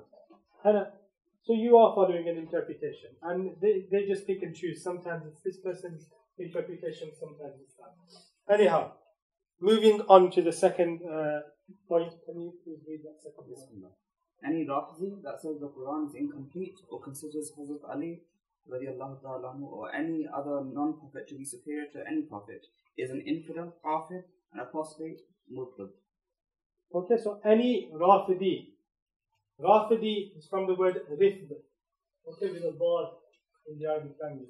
And Rafidi Shias, and in Urdu we say bod is a bod, so we just say Rafizi. Uh, in Arabic it's a bod, so we, we say Rafidi. But let, us just stick to the Urdu version, Rafizi Shia. Okay, Rafizi Shia, Ala Hazrat doesn't say that every single Rafizi Shia is a kafir. Okay, it's a point to note. Because you can't generally uh, regard all of the Rafizis as kafir because their kufr is not muta'ayyan until you start looking at their subsects. And in them, from amongst them, Ala Hazrat writes, okay, those that say the Quran is incomplete. Okay, so obviously that, that becomes muta'ayyan. That becomes muta'ayyan. They are obviously kafir. You reject the fact that the Quran is complete and you're believing some, in something else as part of the Quran, then it's kufr. The Quran is as it is and it is mutawatir. The Quran is known by mutawatir, by tawatur, that it is the word of Allah. Remember we said it has been recorded by generation after generation after generation by so many people that it is impossible for all of them to gather upon a lie. That is the Quran. And that's why it is ma'lum min al-darura. It is qatiyud dalala. The Quran is the word of Allah. And these people, and you look in their books, uh, Usul Kafi, An Kafi, and all these other books of their these Rafizi Shia scholars, they, they've written this. They said the Quran has uh, more than what we have today as the Quran, more than that was revealed about Sayyidina Ali radiallahu anhu. And it was hidden. Sayyidina Ali radiallahu anhu, Ma'adallah spoke to the Sahaba Kiram and informed them of this Quran that needs to be put in public, the rest of it, and the Sahaba Kiram refused. Ma'adallah. This is what they say. So any Shia Rafizi who believes that the Quran is incomplete is a kafir or consider, considers Hazrat Ali radiallahu anh, or any other non-prophet to be superior to any prophet is an infidel, kafir, and an apostate, which means murtad. He has left Islam because he was a Muslim, and now that he believes Sayyidina Ali to be more superior, to be superior than all the other prophets or any one of them prophets, then that is kufr. Because in the Quran, Allah subhanahu wa ta'ala has said, every one of the Anbiya kiram and Rusul Izam are superior than the rest The verse, uh, وَكُلًّا فَضَّلْنَا I can't remember the exact verse. وَكُلًّا فَضَّلْنَا is the word in the is the two words in the Quran. And all of them we have made superior than the rest of the creation of Allah subhanahu wa ta'ala. I think it's in Surah An'am. And uh, the ulama kiram وكلا Okay, I think that might be the one. But anyhow, um, from this verse of the Quran, which says that Allah has made all the Anbiya and the Rusul superior to the rest of the creation, the ulama kiram have said that they are therefore superior than the malaika as well. The malaika, the angels of Allah subhanahu wa ta'ala, because they are also creations of Allah subhanahu wa ta'ala. The word creation isn't exactly mentioned in the Quran, but it does say that Allah has made them superior than all. Okay? So to believe anybody more superior than any of the prophets or messengers is kufr. And it is muta'ayyan, the person becomes a kafir. Whosoever, okay, sorry, the Rafidi Tabarra'i, are infidels according to the jurists. Okay, and that's because it is mutabayyan, and the fuqaha or the jurists, according to them, they are all kafir the Rafidi Tabarra'i. And Tabarra'i is from Al Wila wal Bara. And Bara means to uh, disown something or to free yourself from something. And they are called Rafidi Tabarra'i because they disown all the Sahaba Kiram besides about three or four of them, or a handful of them. Some there's ikhtilaf amongst them. But they slander Sayyidina Abu Bakr Siddiq, Sayyidina Umar anhu, and the rest of the Sahaba Kiram, and this is all kufr mutabayyan. Okay? Because remember, the disrespect of the Shaykhain, Sayyidina Abu Bakr Siddiq and Umar Farooq Azam radiallahu anhuma is kufr. Okay? It is the speciality of these two Sahaba Kiram that to disrespect them is kufr. But that is mutabayyan. Okay, so if anybody disrespects Sayyidina Abu Bakr Siddiq or Umar Farooq, then according to the fuqaha, the person has committed kufr, and the mutakallimin will remain quiet. Yeah? Then you become a kafir it kufr? It is an act of kufr. The person becomes a kafir according to the fuqaha kiram. Okay? But according to the mutakallimin, we would remain quiet. And Ala Hazrat always followed the opinion of the mutakallimin. And that's why he writes that the Rafidi Tabarra'i are infidels according to the jurists. Okay? So they are kafir according to the jurists. And there is a consensus that they are deviants. But all of them agree, the fuqaha mutakallimin, because it's muta'ayyan that they are misguided, all of them. Whether they are kafir or not, mutakallimin remain quiet. The fuqaha say yes, they are kafir. But whether they are misguided, then of course everybody agrees that the Rafidi Tabarra'i are all misguided. Okay, so they are misguided, they are innovators, they have committed, uh, they have brought up new beliefs in Islam, and they will uh, go to Jahannam. They are bound for hell. Can we read the next one, please? Uh, whosoever gives Hazrat Ali radiallahu ta'ala anhu superior, superiority over the Shaykhain, Abu Bakr radiallahu ta'ala anhu, and Umar radiallahu ta'ala anhu, in terms of closeness to Allah Azza wa Jal, is a deviant and is opposing the Sunnah. Okay, so whosoever gives Sayyidina Ali radiallahu and superiority over the Shaykhain, yani Sayyidina Abu Bakr Siddiq and Umar Farooq radiallahu and in terms of closeness to Allah, in terms of taqwa and God fearingness, okay, and God consciousness. In all these things, if somebody gives superiority to Sayyidina Ali radiallahu and in this, then the person has become misguided. Okay, and that uh, is uh, proven from many narrations from the Sahaba Kiram. Sayyidina Ali radiallahu anh himself would laugh, who uh, ordered the punishment of, of uh, the 80 lashes, the same punishment as a accuser gets for he who regards me superior than one of the shaykhain. Okay? And uh, Ala Hazrat has written extensively on this, and in the footnotes it should tell you exactly what pamphlet is and, and what the reference in Fatawa Rizviya is. So Ala Hazrat has provided references from so many ulama kiram that that person who regards Sayyidina Ali radiallahu anh superior than Shaykhain, he is misguided. Okay? A point to note here is that uh, Ala Hazrat has written uh, in taqwa, in qurbe ilahi. That's the actual text in, in, in Fatawa Rizviya. Allah qurbe ilahi mein, if somebody shows, uh, says Sayyidina Ali is superior, then he is misguided. If it's not in qurbe ilahi and somebody gives a juzbi fazila to Sayyidina Ali radiallahu anh over the shaykhain, then that is fine. He's not going to be misguided. Okay? There may be uh, difference of opinion, but it's he's not gumrah. He get juzwi fazilat means a partial superiority. For example, somebody says that uh, Sayyidina Ali radiallahu anh is superior in being the cousin of the Prophet Muhammad sallallahu So obviously, yes, that is correct. He, he, he had that honor which Sayyidina Abu Bakr Siddiq didn't, but Sayyidina Abu Bakr Siddiq was the father-in-law.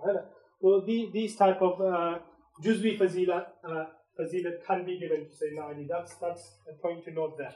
Um, in regards to somebody who says that uh, Sayyidina Ali radiallahu anh is a'lam in knowledge uh, over Abu Bakr Siddiq radiallahu anh, then we will prevent ourselves from calling him misguided. We will remain quiet, whether he's gumrah or not. But there is shadid ikhtilaf because ulama kiram regard the knowledge to be the taqwa, qurbe ilahi. The knowledge determines that your qurb to Allah is more. Okay? So he would be strictly uh, very, very wrong to believe that. And if he says, I believe Abu Bakr Siddiq and Umar Farooq are superior in Qurb Ilahi, in Taqwa, in God fearing, but uh, Sayyidina Ali is A'lam, so we will remain quiet, we won't call him Gumrah. We'll still say, Kene Sunni Hadi. Okay? Okay, next. Uh, in the battles of Jamal and uh, Jamal and Siffin, the one on the truth and the follower of the truth was Amir al-Mu'mineen Hazrat Ali radiallahu ta'ala anhu. However, the error of the opposing honorable companions was an ijtihadi, was an ijtihadi error, and to censure them for such is severely forbidden. Any phrase of disrespect to them is undoubtedly rift, uh, being a Rafidi, and is leaving the boundaries of the Ahl al-Sunnah. Whosoever utters a word of disrespect or insult upon the, any of the companions, or considers any of them to be bad or transgressors, fasik, or bears any animosity for any of them, is undeniably a Rafdi.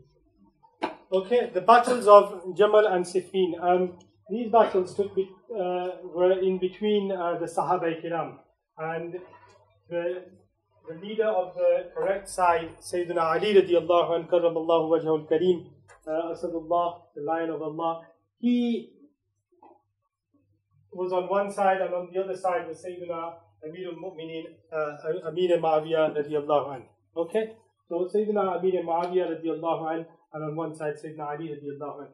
Sayyidina Aisha radiallahu anha uh, in the beginning was on uh, the side of Sayyidina Amir Ma'awiyah radiallahu anhu, but later she also took the side of Sayyidina Ali radiallahu anhu.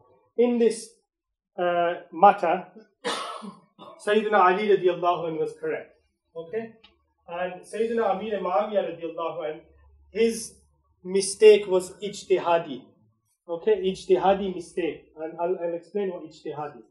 Um, ijtihad is the status uh, which many of the Sahaba kiram, many of the Tabi'i and other ulama kiram possessed in the past, okay, in the far, far past, where they had so much knowledge of the Quran, they, they had the complete knowledge of the Quran, they were hafiz of the Quran, they knew every single uh, ayat muhkamat from the Quran, they knew all the traditions of the Prophet Muhammad that, that were necessary to understand the law of Islam, and they knew that they were experts in the language the Arabic language, not only their own, but the language at the time of the Prophet Muhammad and they were experts in the in the language of the poets of the Arabs. They were experts in uh, the knowledge of log, uh, logic, reason. They had to be ex- experts in all these different fields in order to reach the status of ijtihad. And that's when a person after many, many more conditions, when they fulfill all them conditions, they have that authority and certification to deduce rules directly from the Quran and Hadith. Okay, that's what we call a mujtahid imam.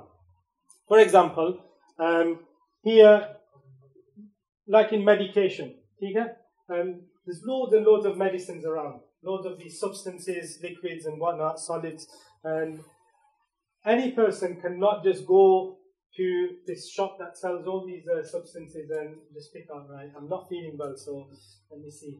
This is red, it looks nice, and, I'll have a bit of that.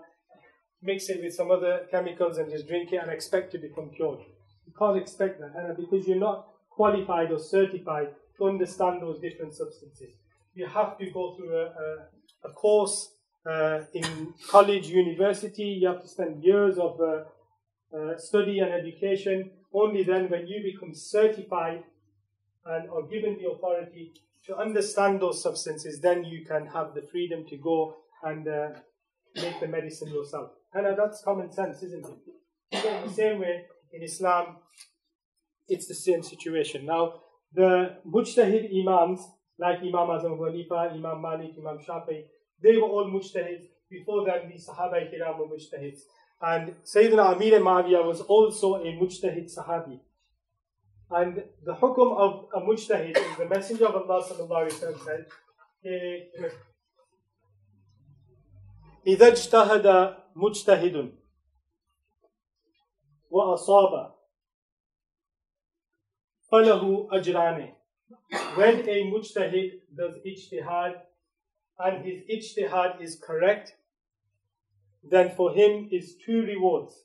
Okay, this hadith is in Mishkat al-Masabih, Mishkat Sharif. Um, maybe from one, one of the Siha Sikta, I'm not sure, but it is in Mishkat Sharif. Um, and then the Messenger of Allah وسلم, said, وَإِذَا And when a mujtahid does ijtihad, فَأَخْطَأَ But his ijtihad brings an incorrect result.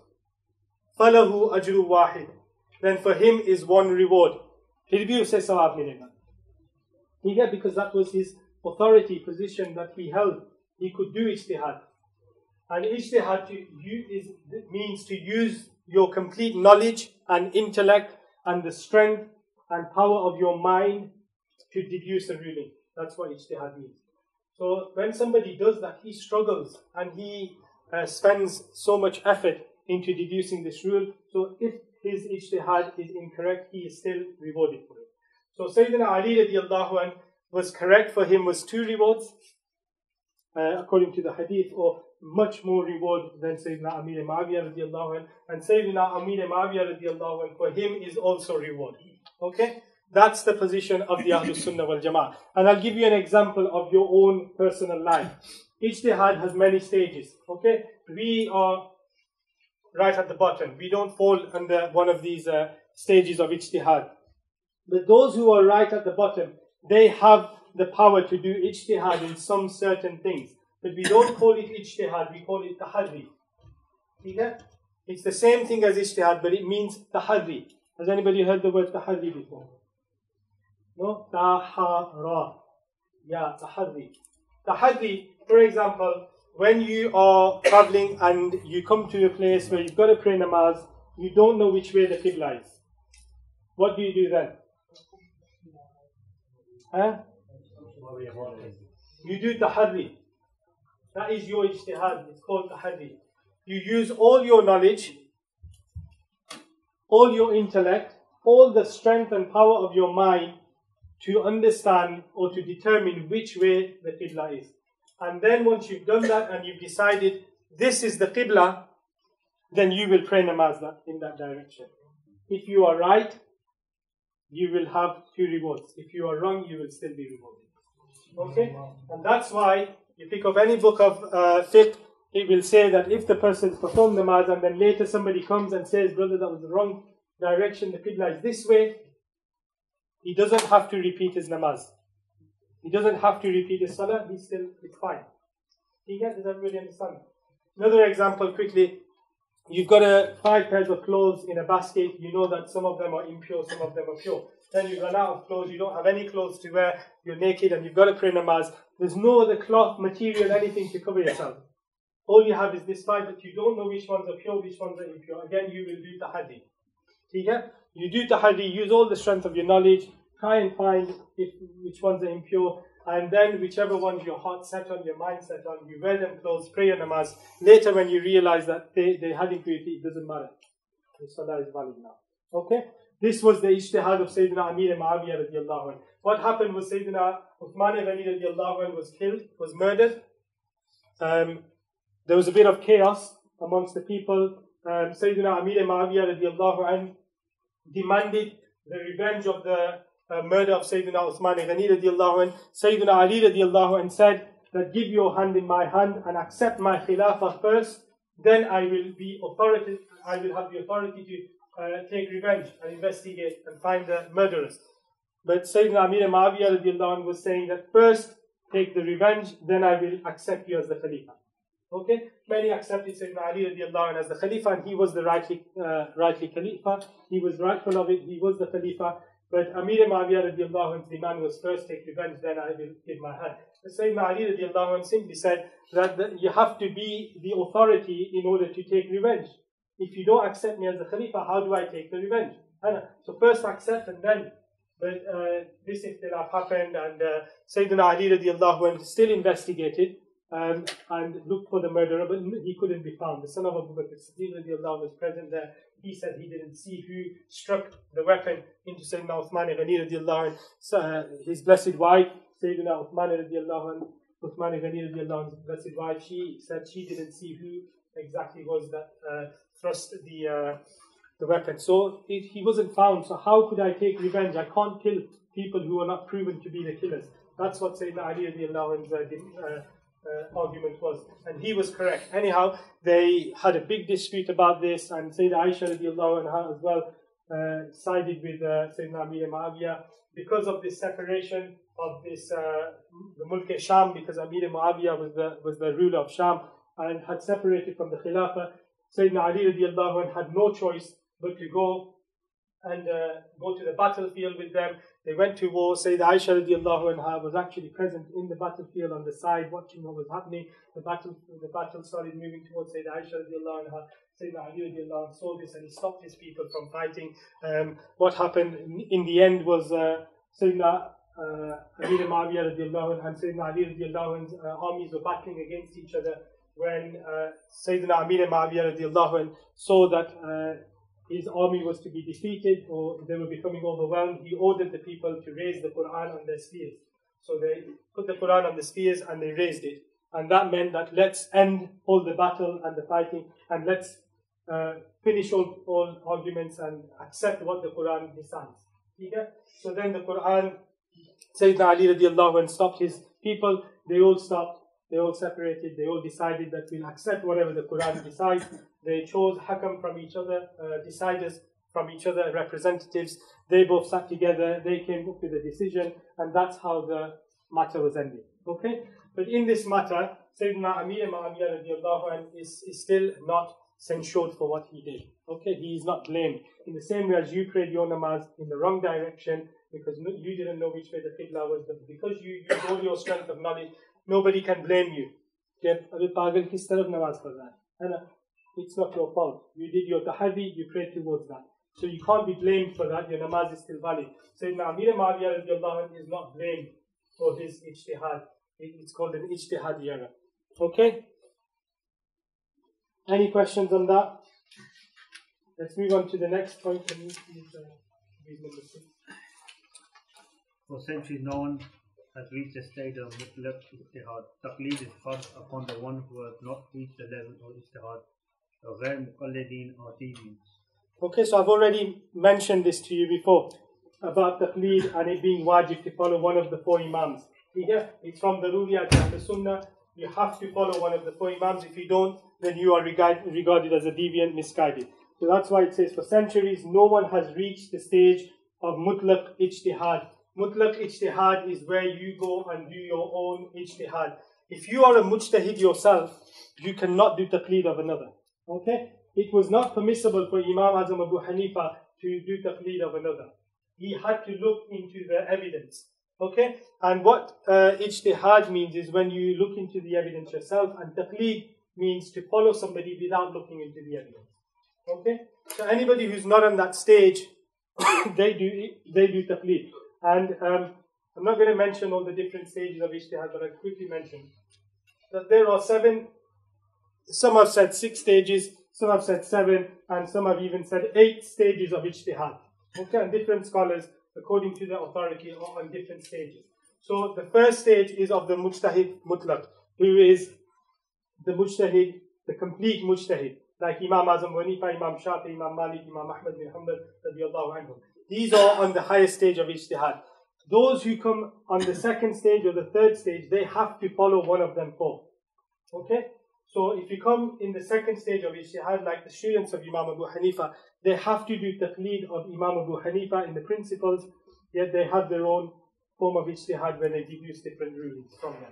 So they deduce rules from the Quran themselves because they are on that second stage of ijtihad, but they follow the, the principles and guidelines of Imam Abu Hanifa. So every person on the stage of ijtihad has to follow the one above him. Okay? And in below, he cannot do taqleed. He has to do his own thinking for that. Everybody understand that? Okay? So people like Imam Ahmad Raza radiallahu anh, Hazrat radiallahu anh was also on uh, one of the stages of ijtihad. And there are people who have actually said that he was on the third stage of ijtihad.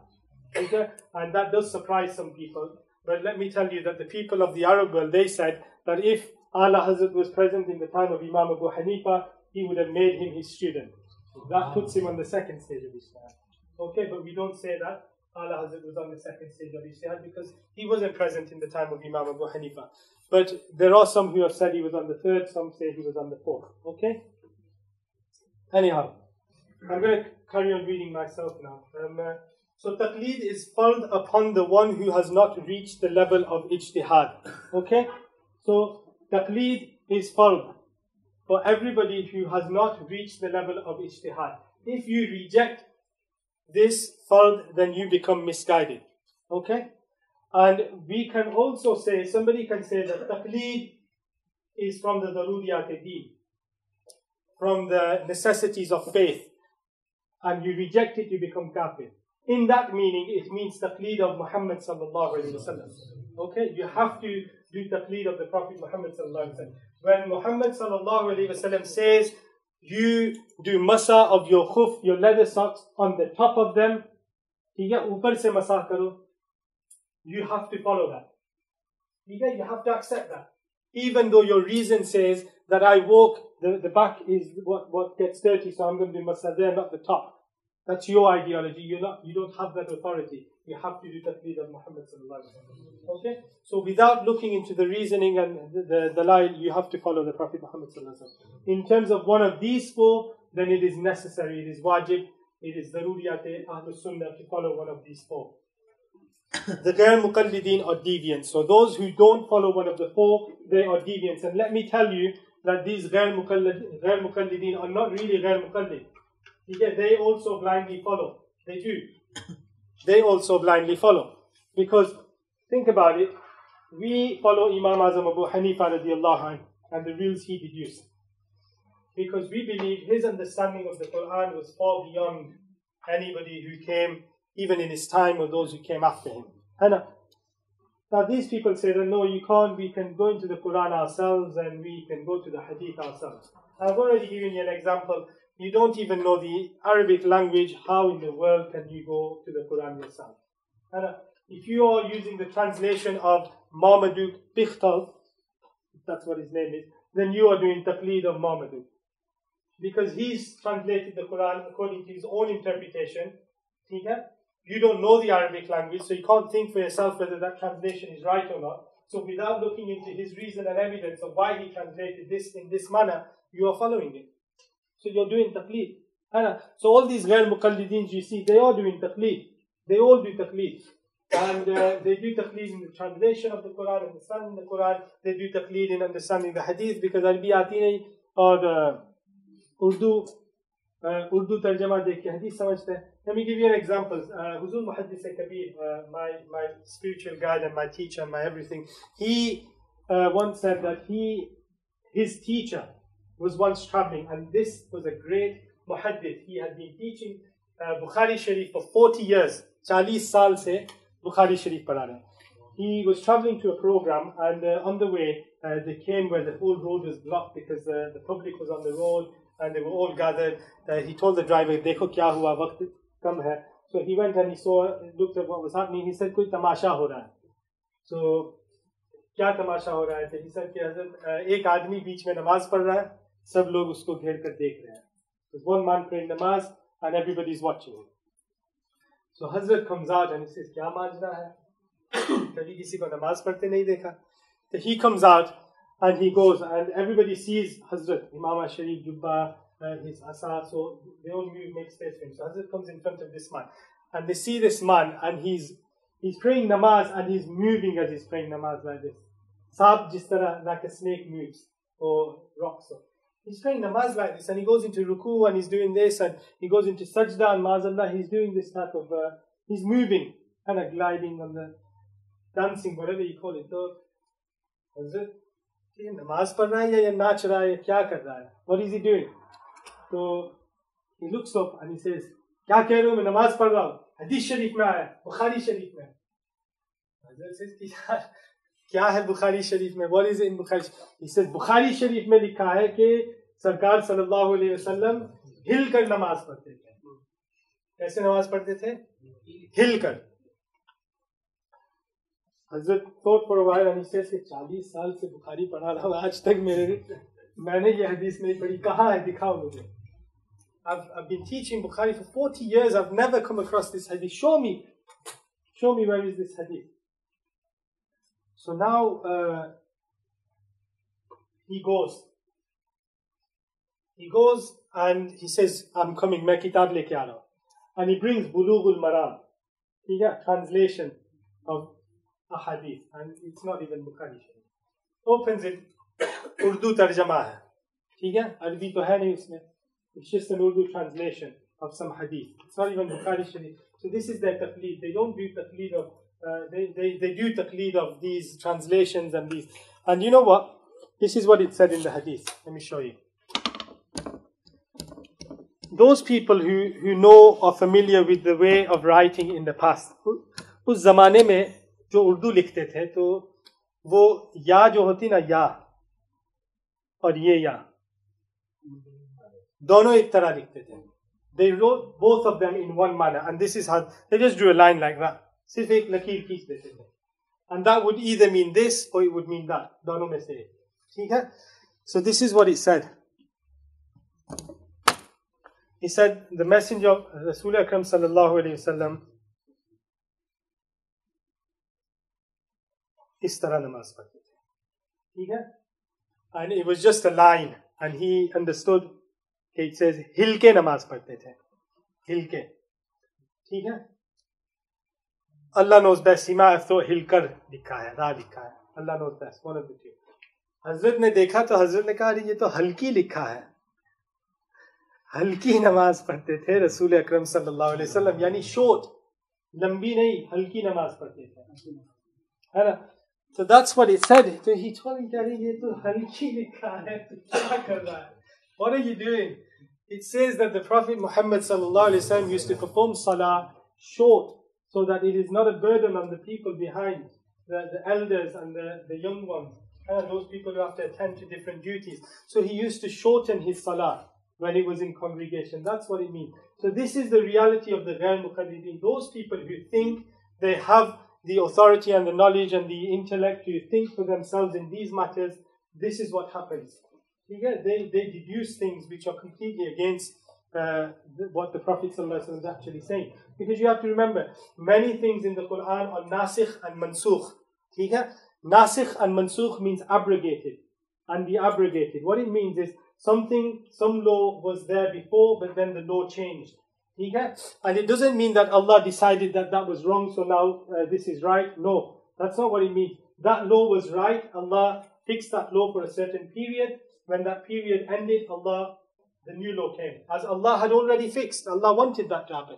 Like the night abrogates the daytime. And then the daytime abrogates the night. अभी रात है दिन आएगा तो दिन रात को मनसूख कर देगा तो इट डजेंट मीन कि ये रात गलत थी ये दिन सही है है ना some people say that okay, Allah was wrong that's why he changed it that's not the case Allah has a fixed time Allah has provided a fixed time for everything so the time of one rule ended and the other time began now if you start looking into the hadith without knowing all the different nasikh mansukh hadith then how will you know whether this rule has changed or not this rule was from before you pick up Bukhari Sharif and you'll find in Bukhari Sharif कि जंग उहुद के मौके पे सहाबा किराम शराब P रहे थे और शराब पीने के बाद जंग में शामिल हुए ठीक है it's in the hadith so now you take that hadith and you say look alcohol is permissible. And people who have this uh, reformist Muslims who call themselves reformist Muslims who say we should think for ourselves they do. They take that hadith and they say look you can drink alcohol. It's in the hadith. But you don't understand that later it was abrogated. So you have to first understand all of these things and you have to encompass your knowledge over all the ahadith in order to understand the hadith. Okay? So that's the problem with taqleed. That's why taqleed is wajib. You have to follow one of the four imams. Point number eight, the first teacher of the Wahhabis, Ibn Abdul Wahhab Najdi, and their second teacher, Ismail Dahlwi, author of Taqwiyatul Iman, were both extremely misguided deviants. And I told you about the Wahhabis and, the, and Ismail Dahlwi that Ala Hazrat regarded them both kafir according to the Fuqaha Kiram, but remained quiet according to the Mutakallimin because there was a uh, there was uh, news that Ismail Dahlwi did Toba, before he died.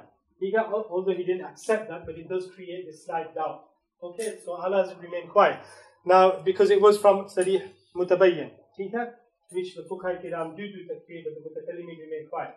Ala Hazrat always used the safer opinion in doing takfir. He always gave them the benefit of the doubt unless there was no choice. Okay?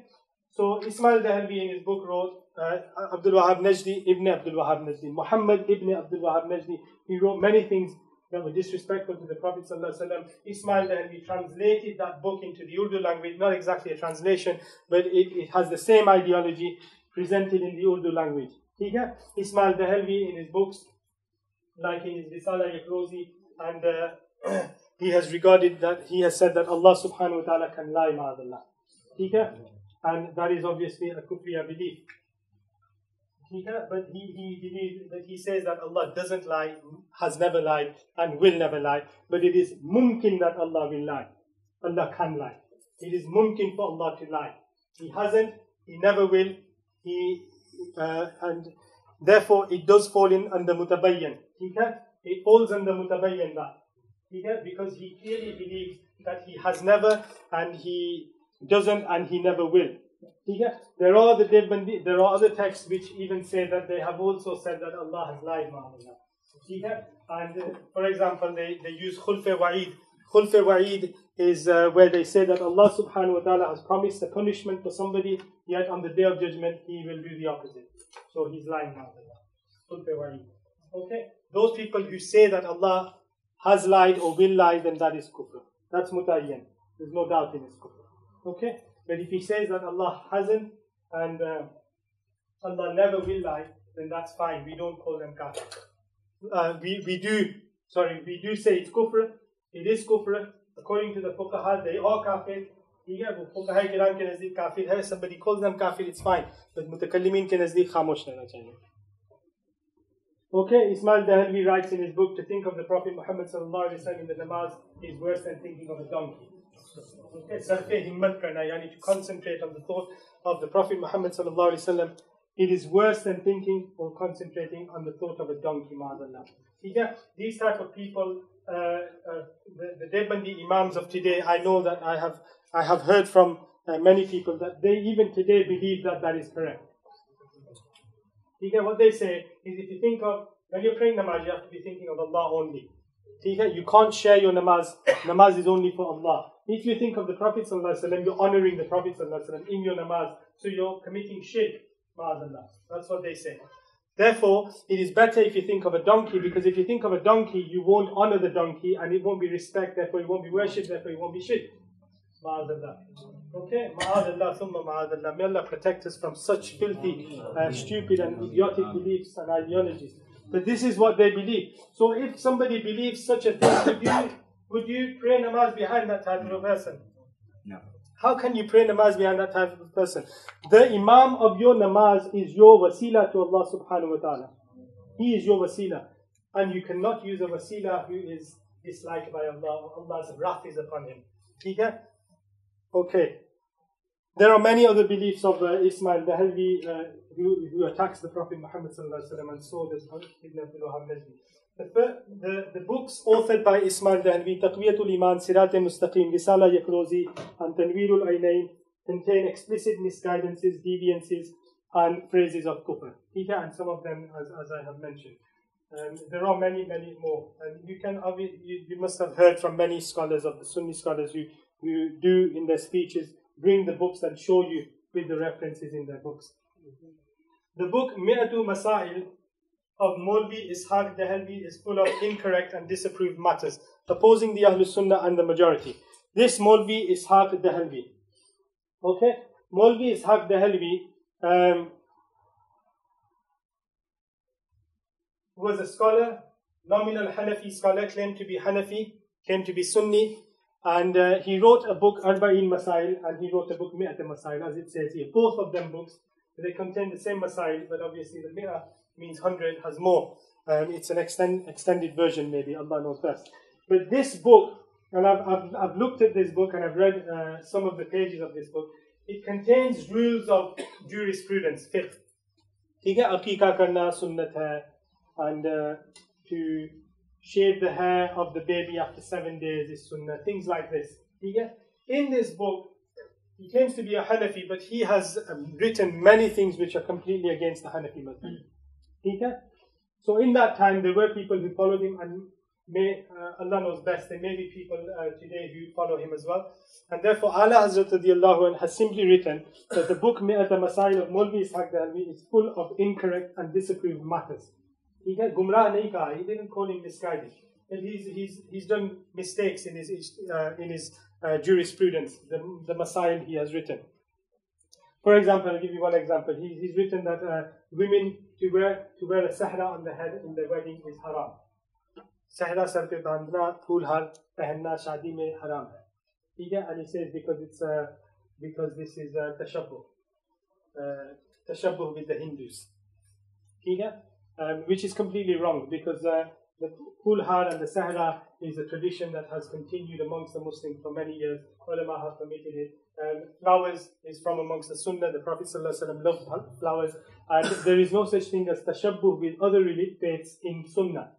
ठीक है जो चीज सुन्नत है तो उसको किसी और से तशब्बु की वजह से नाजायज नहीं कहा जा सकता okay so things like that he said women are not allowed to wear gold on their sahara as well but whereas women are allowed to wear gold ठीक है so matters like this he he made uh, very, very grave mistakes. So Ala Hazrat has simply refuted that, saying that the book Mi'at al-Masail of Mulvi Ishaq is full of incorrect and disproved matters, opposing the Ahlul Sunnah and the majority. This was what Ala Hazrat wrote, but later the ulama of Ahlul Sunnah regarded him as misguided.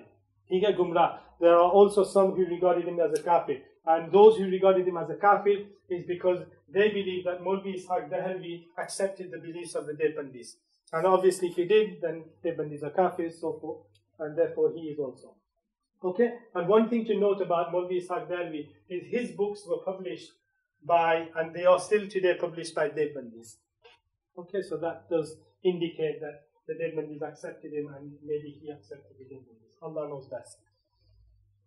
Okay, number 11 to seek help and aid from the Prophets and awliya, and the Prophets to call upon them or to use them as a medium at the time of need saying Ya Rasulullah, Ya Ali, Ya Shaykh Abdul Qadir Jilani, and to believe them as a means of attaining blessings from Allah subhanahu wa ta'ala is definitely correct and permissible. You can say Ya Rasulullah, you can seek help from the Prophet from the awliya kiram, from Sayyidina Ali radiallahu This is all permissible and fine and the practice of uh, the people in the time of the Prophet until today. Does anybody not know the justification of why we say that's allowed? Everybody knows the reasons why. And uh, the Sahaba practiced it. They sought help from the Prophet Muhammad. I don't need to dwell into that. Does anybody need me to provide any evidence for that? Put your hand up if you think I should do. No? Good.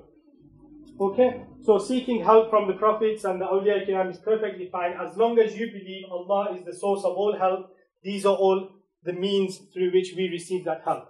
ठीक Allah in the Quran says, Ihdina siratul Iyaka. We only seek help from you, O Allah. It means you are the only source of all help.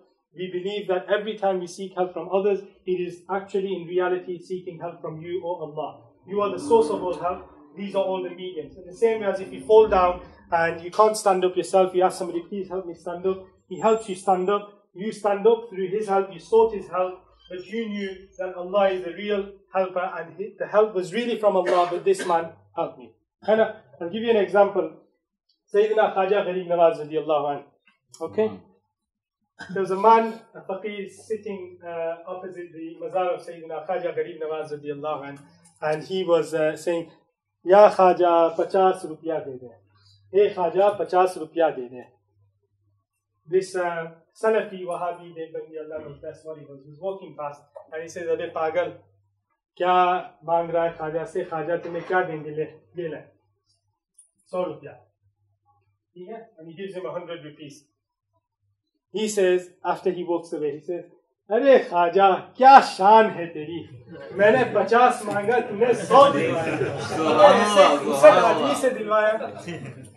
ठीक है so he still believes that the help has come from Khaja Ghali but that person was the means okay So we believe that Allah is the source of all help.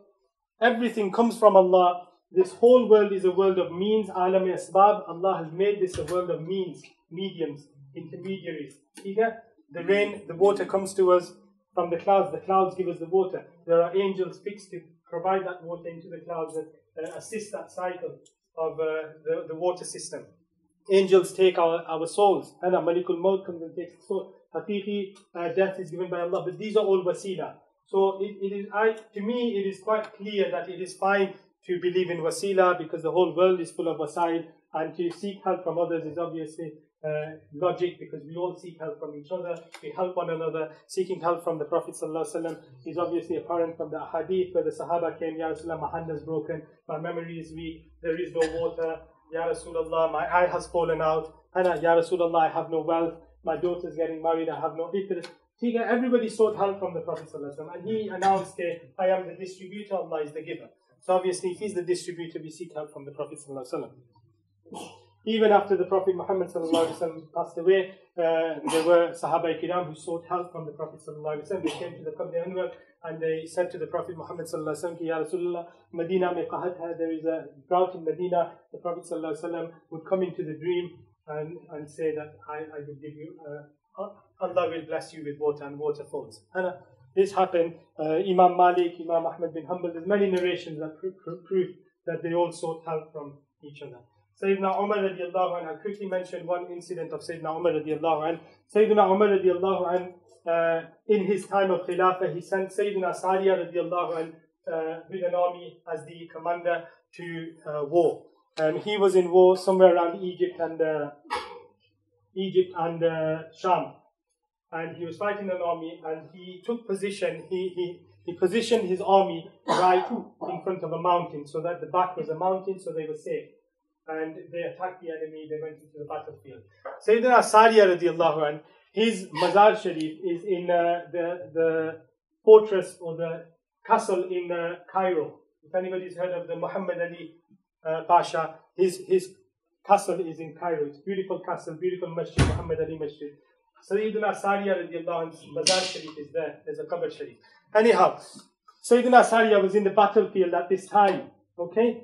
And Sayyidina Umar Farooq radiallahu was in Madinatul Munawwara, in Al Madinah Al Munawwara, delivering the Jummah khutbah. Okay? Uh, from what I remember, it was the Jummah khutbah. It may have been another sermon. But in between his sermon, he completely went off topic, diverted from his topic, and he said, Ya Sariya al Jabal, Ya Sariya al Jabal, Ya Sariya al Jabal, three times. Okay? O Sariya, the mountain. O Sariya, look towards the mountain. O Sariya, look towards the mountain. At that very time, Sayyidina Sariya was in the battlefield. He gets In front of the mountain. And he, whilst in the battlefield, he is Sayyidina Umar Farooq, anhu. And he thinks that this is Sayyidina Umar telling me to look towards the mountain. So he turned and he looked towards the mountain and he saw that the enemy was attacking from the mountain. They had a hidden uh, group of soldiers there that were about to attack. Sayyidina Umar radiallahu anh informed Sayyidina Sariya in enough time for him to change his strategy and prepare to uh, protect his army from, from this attack from the rear. And they won the battle, Sayyidina Sariya radiallahu anh. And he is known as Sayyidina uh, Sariyatul Jabal today. They, they know him as Sariyatul Jabal. So, so that Sayyidina Sariya, Sariya radiallahu anh. So that shows that the awliya kiram, as well as the anbiya kiram, also provide help, even where they are not present. Yeah? And obviously, there are many more examples of that. The authority of the prophets and the awliya, uh, salam, and Ridwanullahi alayhim, is powerful in their physical life and also after their demise. And throughout the bestowal of Allah subhanahu wa ta'ala, the river, river of blessings will continue to flow until Qiyamah. All the awliya kiram, they have authority over many things. We seek them to do dua for us because we know that they have more authority than us and they are nearer to Allah subhanahu wa ta'ala than us. We can seek help from them uh, Sheikh Abdul Qadir Jilani radiallahu anh, Khaja Gharib Nawaz, all these awliya kiram, authentic books have recorded their incidents and their karamat and them helping people even after they left this world. Okay? So just bear in mind Ala Hazrat is writing that the Imam you have in your local masjid should believe in these points. So we passed, we, we talked about those matters which were kufr, those matters, matters which were misguidance. These are the traditional actions of the Ahlul Sunnah. These are signs of the Ahlul Sunnah wal Jama'ah. Number 13, the general deceased can see the living, hear their speech, and also understand it. The hearing of the deceased is true.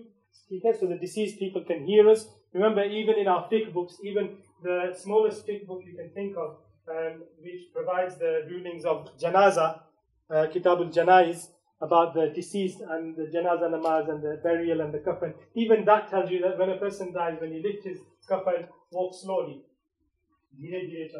Don't rush, don't move it about. Do you know why it says that? What does it say in that? Because the deceased feels. And they feel, even that says that, the Deobandis all accept that. It says in their fiqh books as well, that they feel it. They, so if they are deceased, then they can feel normal uh, Muslims and uh, even the non-believers, they are punished in their grave. If they are punished in their grave, that means they are alive. Why punish something that cannot feel? Would you punish something that doesn't feel? Would you be here saying that I'm gonna if you had a chair and you say, right, I'm gonna punish this chair, and you start striking the chair, would people call you wise or would people say you're mad? They'd say you're mad. And of course, Allah subhanahu wa ta'ala is the most wise, the all wise. And if, and if He punishes in the grave, then that means you are alive in the grave and you can feel. And, and the reason is, is because when the soul and the body are together, the person can feel. And uh, that's why we believe that all deceased people can hear. Um, when you walk past them, the graves, you say, Assalamu alaikum ya ahlul qubur. The Messenger of Allah sallallahu told us, Oh Aisha, when you come to the graveyard, you recite this. Assalamu alaikum ya ahlul qubur. Salam upon you, O people of the grave. And uh, we do not say salam to those who cannot hear our salam. You don't come to your house and say uh, salam to the wall and you say to the door handle salam to you as well. You don't say that because you know they cannot hear, therefore you don't say salam to them. And the religion Islam is free from abath. Allah clearly mentions in the Quran, Allah has not made anything abath, useless. If Allah and the Messenger have ordered us to say salam to the deceased, that means they can hear you. Okay? And, and the Wahhabis and Deobandis, they recite the dua because they say the Prophet ﷺ told us to, yet they believe they can't hear you. Okay? So they are them people who are mad. Like the person beating a chair, saying, I'm going to beat this chair up. So these things are, are, quite common sense when you when you look in, when you delve into them. And this, and therefore, it says here that the general deceased can see the living, hear their speech, and also understand it. The hearing of the deceased is true, and the status of the awliya are much greater than this. Okay, so if general people can hear the footsteps of the people walking away after they have been buried, as the Prophet Muhammad quite clearly mentioned in the hadith, then obviously the awliya kiram have a lot more than this. If the general deceased can hear, then why would the awliya whose stations are much higher not be able to? Allah subhanahu wa ta'ala has divulged the knowledge of every single atom from the first day until the day of reckoning, Qiyamah, that which was and that which will be to his most beloved sallallahu alayhi wasallam. Yani the Prophet Muhammad has been given the knowledge of everything from the beginning of creation until the people of Jannah enter Jannah and the people of Jahannam enter Jannah. Okay, and there's hadith in uh, Muslim Sharif where the Sahaba Kiram say that the Prophet Muhammad stood up after Fajr Salah and he delivered a speech until Zahar. After Zahar, he stood up again, he delivered a speech until Asr. After Asr, he stood up again, he delivered a speech until Maghrib, and then at Maghrib he stopped. In that speech, he mentioned everything from the beginning of creation until the people of Jannah going to Jannah, the people of Jahannam going to Jahannam. Those from amongst us who remember the most from them that speech are those who are the most knowledgeable amongst us. He told us about everything, even the even the birds that fly up on the skies. He left. And obviously, it was a mu'jiza of the Prophet ﷺ to encompass all of that in, in a certain period of time. And therefore, the Sahaba Kiram believe that the Prophet ﷺ knew everything. Everything that Allah has created from the beginning of time until the end of time. Okay? And that's the position of Imam Ahmad Raza radiallahu anh. There are uh, slight differences in this belief. There are some of the ulama kiram of the Ahlul Sunnah wal Jama'ah who believe that the Prophet ﷺ possessed uh, lots and lots of knowledge of everything, but not everything in tafsir. In tafsir meaning in detail. Yeah? But the uh, opinion of Imam Ahmad Raza, which is the superior opinion uh, from the Quran, the Quran says that there is nothing which is dry or moist, but it is mentioned in the Quran. Yeah? Everything that exists, think about this. Everything you have, look in front of you, look at your clothes, look at the ceiling, the light bulbs, everything. Everything that exists in this world is either moist or it is dry. Hana? It's either going to be dry or moist. And the Quran said, Wala ratab, yani nothing is wet. Wala yabis, nothing is dry. Illa fi mubin, but has been mentioned in the Quran. Yani Quran mein sab kuch. Up to the extent that Sayyidina Abdullah ibn Abbas used to find what in, in the Quran when he used to lose what? he, when he used to lose the tie with which he tied the camel, and he couldn't find where, where is it, he, he, he found it in the Quran. Ah. And, and he was a person whom the Prophet ﷺ made dua for that Allah give him the knowledge of the Quran. Um, so everything is in the Quran. Peter, who was the Quran revealed upon?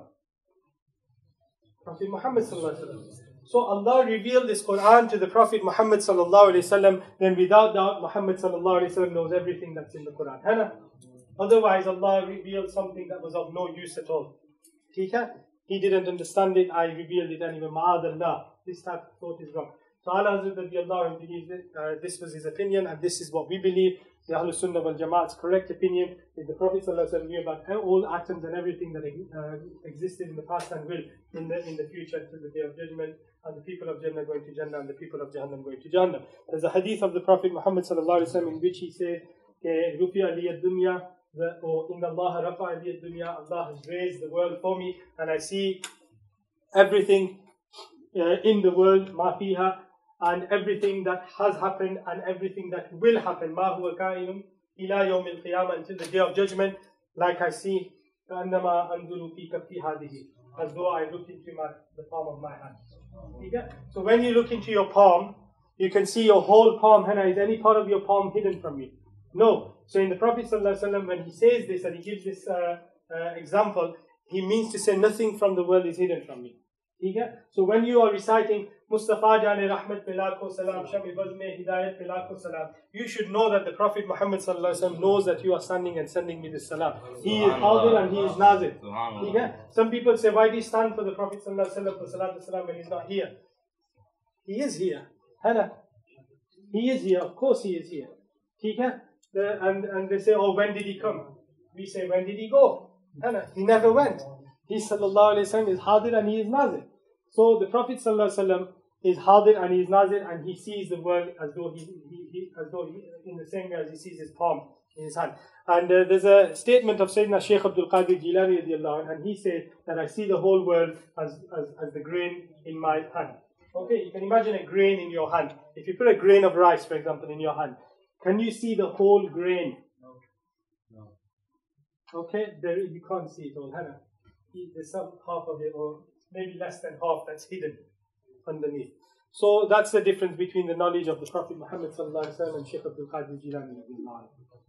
Okay, although that is an example to understand, the truth is, is that we cannot even comprehend uh, the La Mutanahi uh, uh, knowledge that Allah subhanahu wa ta'ala blessed the Prophet Muhammad and to compare that with the knowledge that Shaykh Abdul Qadir Jilani, we can't compare it. But this is a statement from the Prophet ﷺ, and this is a statement from Shaykh Abdul Qadir Jilani It shows a difference. That some things, uh, it just shows that the Prophet ﷺ knowledge was more than the uh, knowledge of Shaykh Abdul Qadir Jilani Says here next, it says,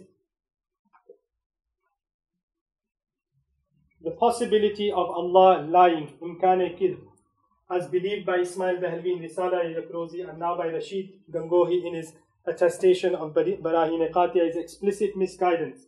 The lying of Allah subhanahu wa ta'ala is undeniably and consensually, intrinsically impossible. It is muhal that. Intrinsically means biddat. Biddat yani the self of Allah, the essence of Allah subhanahu wa ta'ala. It is not possible for Allah to lie. It, it's, we're not saying that uh, uh, Allah can lie, but He never lies or will not lie. We just say He cannot lie. It's not possible for Allah to lie. The reason why is because lying is not good enough to be within the power of Allah. It is filth and therefore it is not within the power of Allah subhanahu wa ta'ala. Some people say that, oh, Allah cannot do this. How can you ever say Allah cannot? Because cannot is a defect, ma'azallah. The truth is, is that Allah is free from all defects, and it is the fault of the defect, not the power of Allah subhanahu wa ta'ala. It is not worthy of being within the power of Allah. That's what the truth is. Okay? So if we say that can Allah disappear and not exist anymore? Obviously that cannot happen. Because Allah is wajibul wujud. His existence is completely, absolutely necessary. So there are things which are outside the power of Allah because they are not worthy of being within the power of Allah. They are not worthy, they are defects, they are filth. Okay? Can Allah create another Allah? Ma'adullah? Of course not. Of course not. That is not good enough to be within the power of Allah. Allah is the, has all power. When we say in Allah la kulli shayin qadir, it means Allah is all powerful upon everything good and possible for Allah. Okay? So lying is not possible for Allah. If you open the door and say, okay, oh, everything is possible, in Allah ala kulli shayin qadir, therefore lying is possible, ma'adallah, that would mean uh, to have children is possible, to marry is possible, to disappear is possible, to make another Allah is possible, uh, to to commit zina, ma'azallah, all these type of filthy things that can become permissible. So these Wahhabis and Deobandis who believe that uh, Allah is power, all powerful and therefore He can lie as well, then that is clear cut kufr. There is no doubt in their kufr. It is muta'ayyan. But when they say that Allah, we just believe that its imkan is there, imkan is there to lie, but He has never lied, He doesn't lie, and He never will lie, then that is also kufr because you're believing in the imkan. But it's mutabayyan. And therefore the fuqaha kiram regard that person as a kafir, but the mutakallimin they remain fine. Okay, because just to say imkan, there's a, a possibility for them to save their iman in that matter. Then it says here that the matter of khalfe, khalfe wa'id, khalfe wa'id is how, uh, is, is what's uh, become the, uh, what's become on the tongues of people. They say khalfe wa'id. The actual uh, word is khulfe wa'id. Khulfe wa'id, which means to do khilaf of the wa'id. Uh, the wa'id is the promise of Allah subhanahu wa ta'ala. Okay? So these Wahhabis, what they say is that to go against what you have said is khalf wa'id. So Allah subhanahu wa ta'ala said is uh, about the mu'mineen, the believers who commit sin, they commit disobedience. Allah says, فَأَذَابُهُ جَهَنَّمْ In the Quran, Allah says, فَأَذَابُهُ جَهَنَّمْ For who? For the mu'mineen, for the believers. Your punishment is the, uh, is the fire of hell. The Quran says that. But on the day of judgment, Allah's mercy may forgive you. Or the Prophet Muhammad may do shafa'ah for you. Or your cousin who is a hafiz or a scholar or your friend or you serve the malim or a sayyid or anybody who has uh, who has been loved by Allah, he intercedes for you, then you will not go to Jahannam, you will go to Jannah. Yes. And therefore, فَعَذَابُهُ Jahannam is a lie, ma'adallah, astaghfirullah. You get, this is what the Wahhabis and Deobandis say, this is khulf wa'id, and therefore Allah, there's that imkan of Allah to lie, ma'adallah. This is completely wrong, this is not what khulf wa'id means, and uh, this is the Wahhabi belief. What we say is wa'id, wa'id and takhweef are two different things. Okay, it's very important to understand this. One thing is a wa'id, one thing is a takhweef. Takhweef means to put fear into you. Khawf dilana. Okay? So when Allah says to the mu'mineen, كَيْفَ أَذَابُهُ جَهَنَّمْ It is takhweef. It takhweef It is warning you and putting fear into you to make sure you stay away from that and do good. So Allah is only doing takhweef there. And therefore, on the day of judgment, He may forgive you and not put you into Jahannam. And He may give you Jannah. For the believers, there is no wa'id. Wa'id is for the non-believers, for the kuffar. The wa'id is for the kuffar, where Allah subhanahu wa ta'ala says, Khalidina finnar. They will be in Jahannam forever.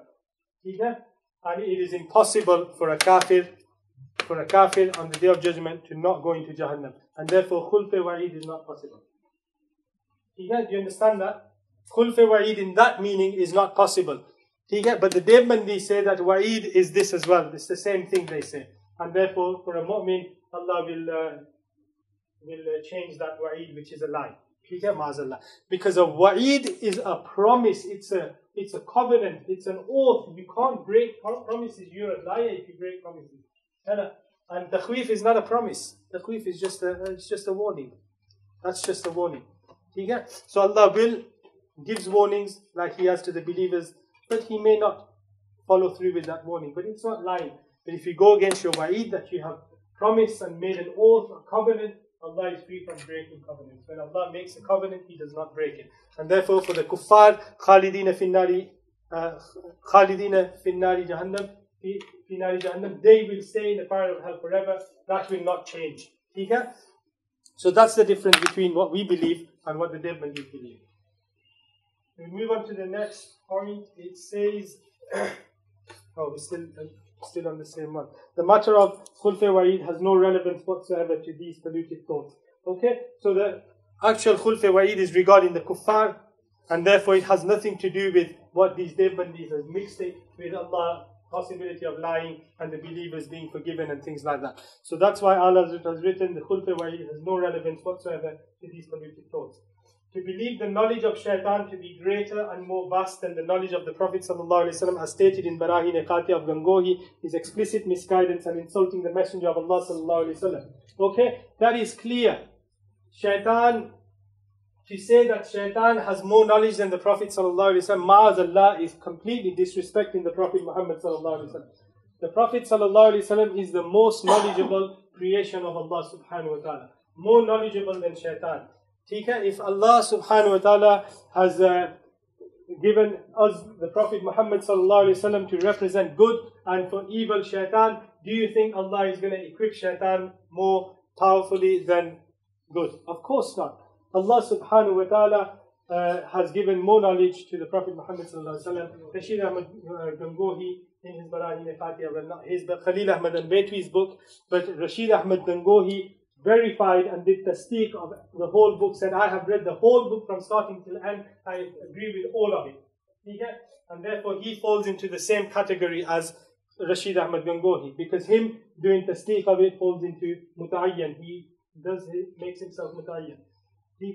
So these in this book, Barahin Qatiya, it, it says that the knowledge of shaitan is more vast than the knowledge of the Prophet Muhammad which is incorrect and disrespectful, which is kufr. Disrespecting the Prophet is clear kufr. Number 16, to believe the knowledge of shaitan to be greater and more vast. Oh, sorry, have we done this? And insult.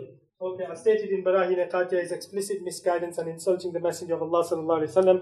Next one, the gatherings of Milad, also known as Mawlid, and the stand Qiyam in his honor, as has been widely practiced and established for centuries in the two holy sanctuaries, Al Makkah al Mukarramah and Al Madinah al Munawwara, are permissible.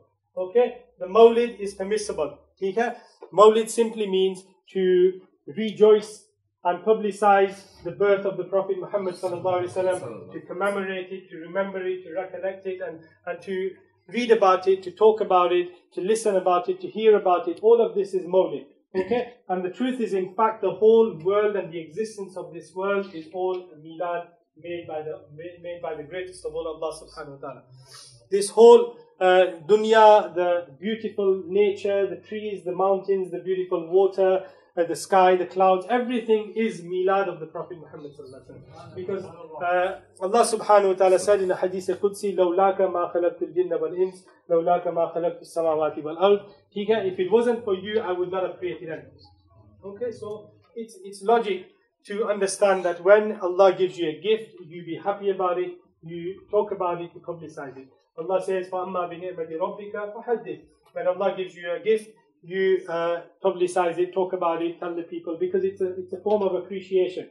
If, if somebody gives you a gift, a watch, for example, and say someone comes and gives you this watch and says, I have bought this gift for you, and you never wear it, do you think that person's going to be happy? They never see you with it, they never see you mention it. You gave it and that's it, it's forgotten. Khalas. Are you going to be happy about that? No, you're not. If you give a gift to somebody and that person loves it, they wear it every day, they tell them, look at my watch, look at my watch. It's so nice, so nice, this person gave it to me. Would you be happy then? Of course you would. Hannah, because you know that you did something and the person appreciated it.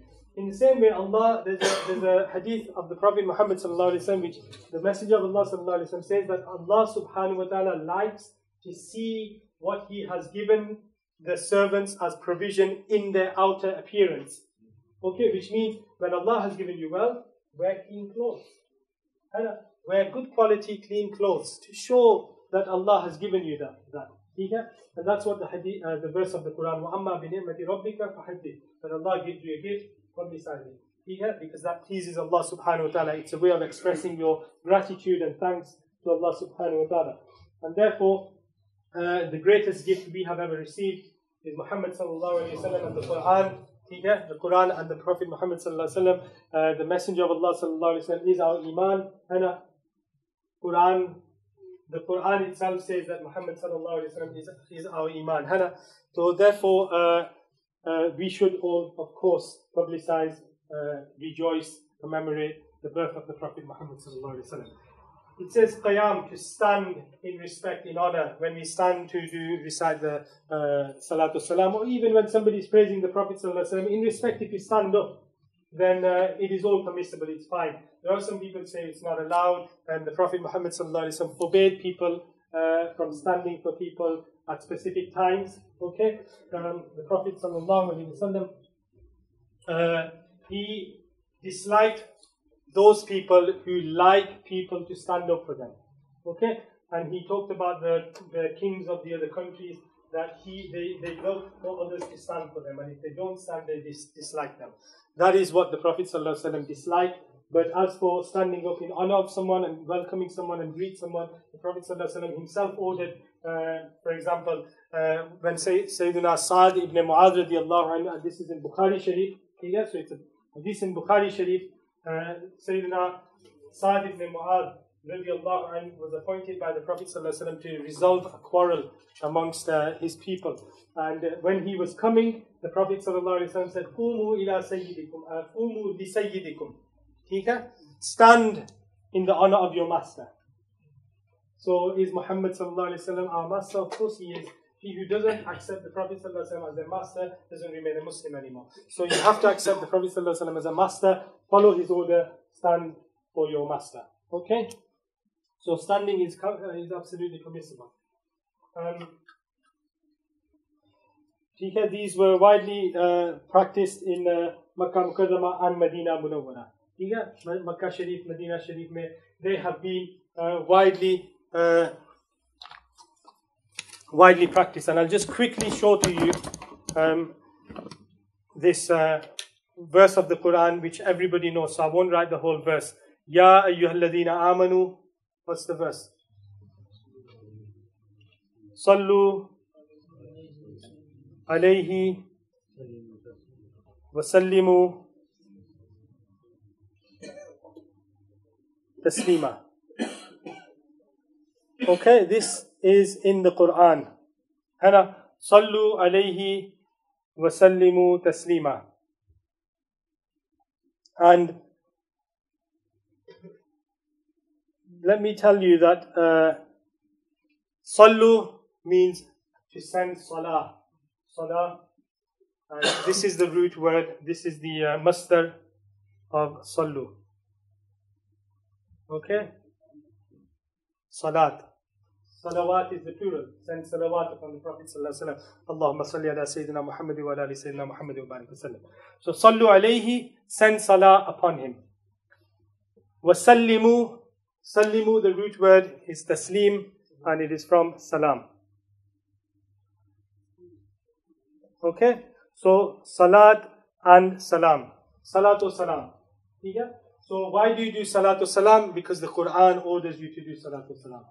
You know, many people say, oh, salatu salam is Sheikh Barelvi doing That's, that's so stupid that the whole the Quranic verse is revealed for it.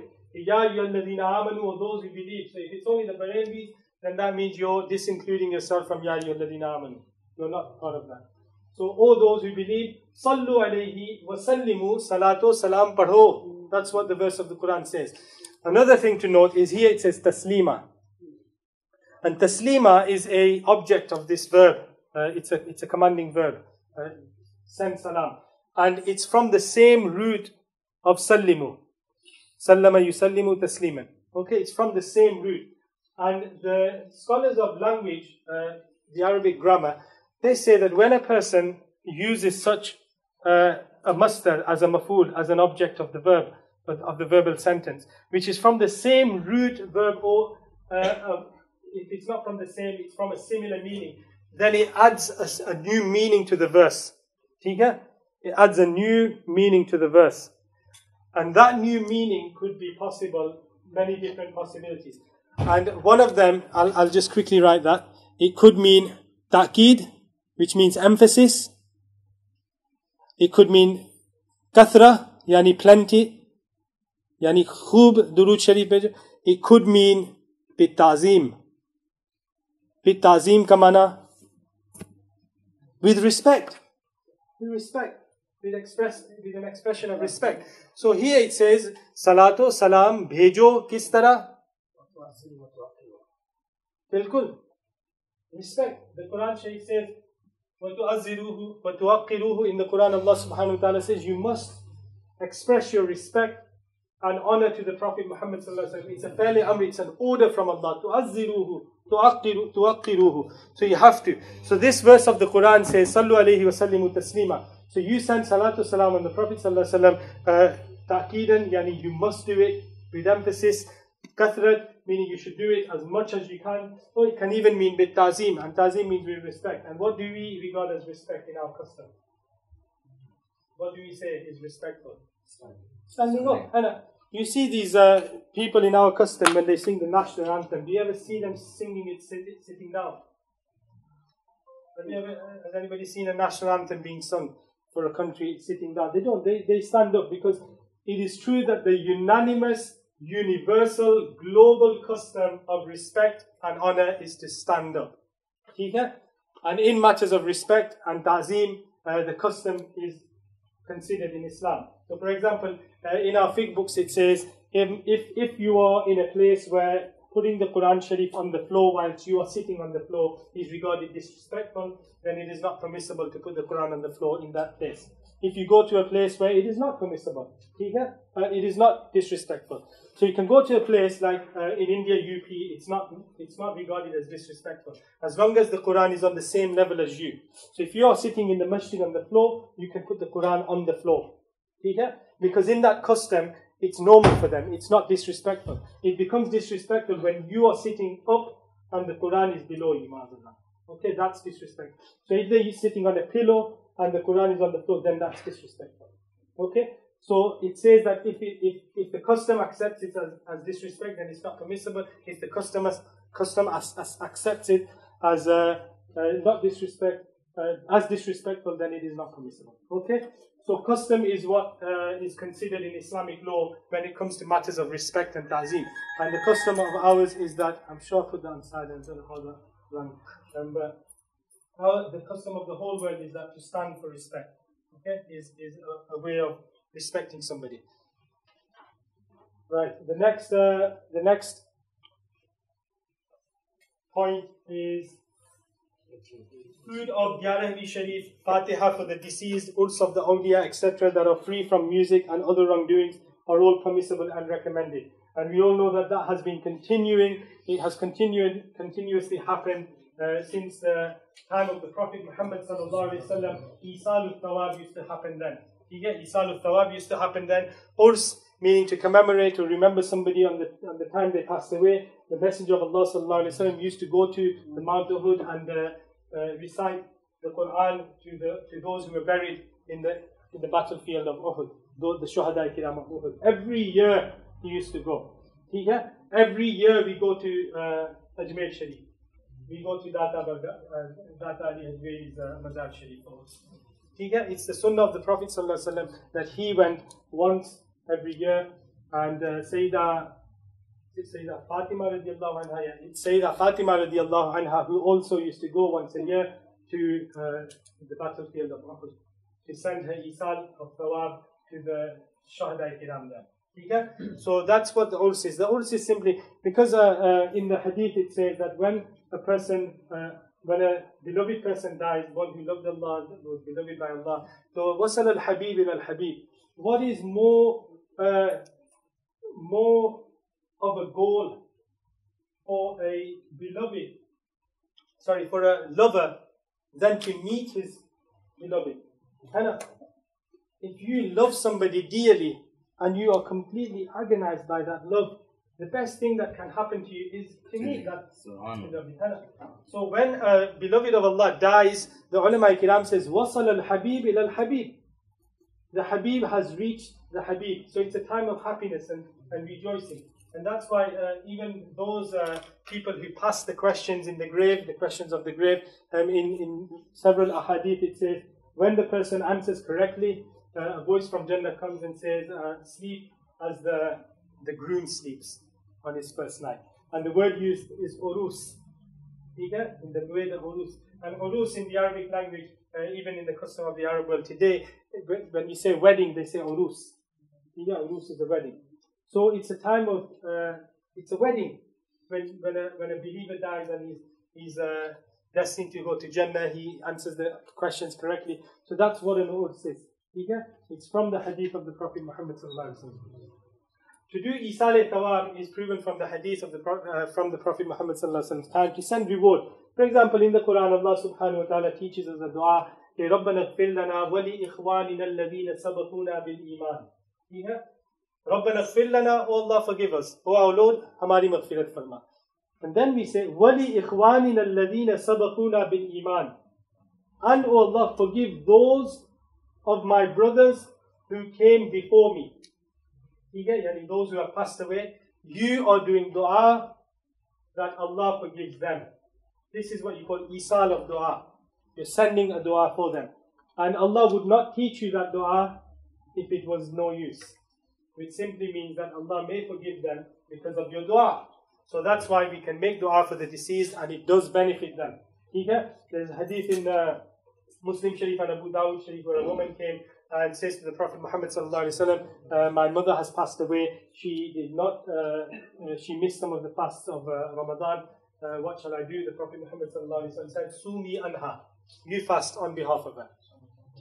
So you fast, send that reward to her.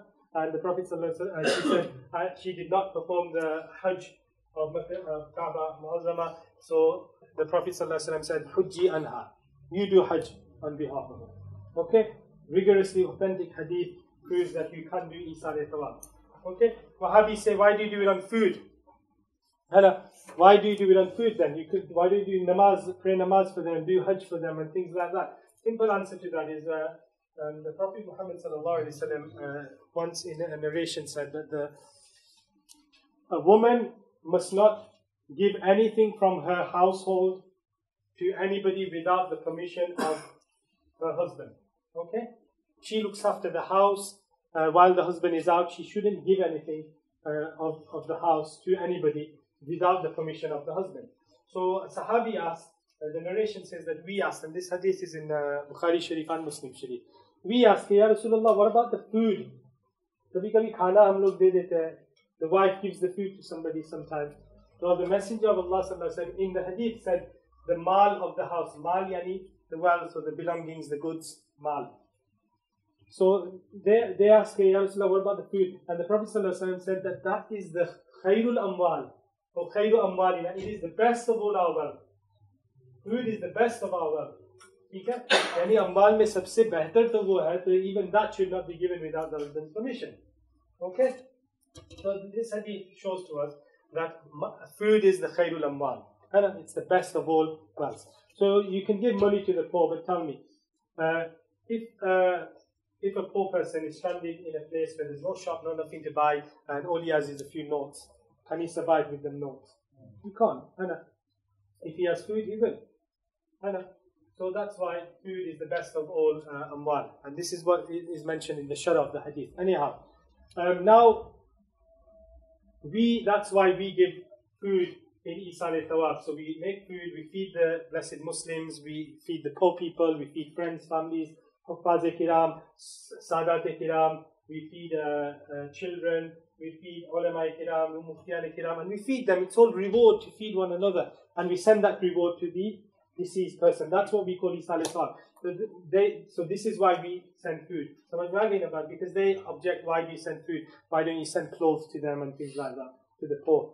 Um, and and another thing is, is that the reason why these people uh, don't eat the food of uh, Isa is because I've mentioned this before um, that the Prophet Muhammad sallallahu alaihi wasallam said when you recite uh, when you recite Bismillah ar-Rahman ar-Rahim before eating the food, you know, who doesn't eat that? Who can't eat that food? The shaitan can't eat that food.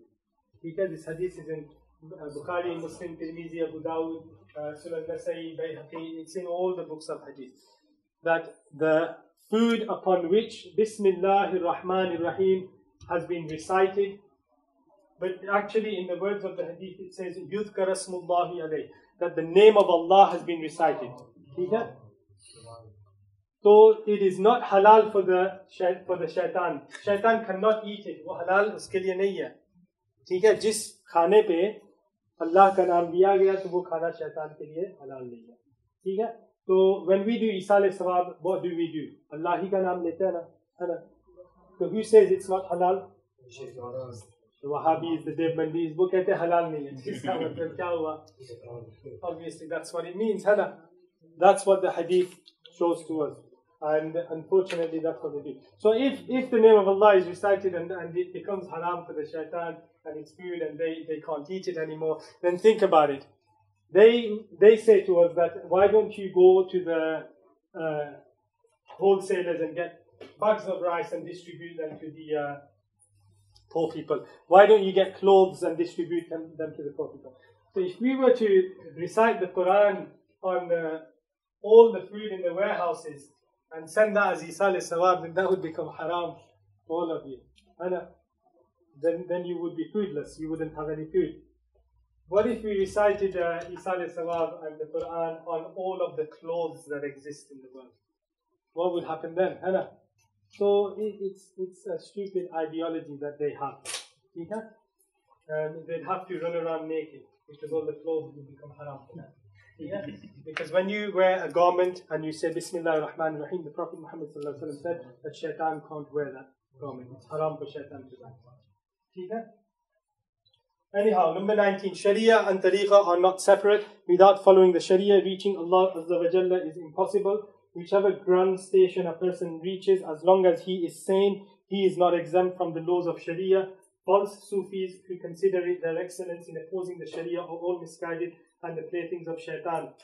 Okay, I'm going to stop there. The uh, Sharia and Tariqah are not two different. They are different things, but they are both the same as well. Okay? Sharia, Huzur Hafiz Millat used to say uh, a very good example of what how to understand Sharia and Tariqah. He used to say that the Sharia is the hair, bal, and the Tariqah is the mang. Yani the line in the middle, the, when you middle part your hair, side part your hair, that line that comes when you comb your hair is the Tariqah and the hair is the Sharia. ठीक है अब बाल नहीं है तो मांग निकलेगी बाल के बगैर मांग तो नहीं हो सकती without the hair can you have a hairline? No. Exactly. So that's what Hafiz Millat says. The Sharia has to be there. Only then tariqah can exist. If you don't possess Sharia then you don't possess tariqah. Simple understanding. Okay? So that's what Sharia and Tariqah are. They cannot, Tariqah cannot exist without Sharia. You have to be following the Sharia. So if you see a person uh, flying around in the skies and uh, distributing uh, coins of gold from the sky and everybody's taking this gold, but the time of namaz comes and he doesn't pray namaz, he is not a wali of Allah. Okay? He is not on the high stations of Tariqah. He is shaitan. He is doing the work of shaitan. Okay?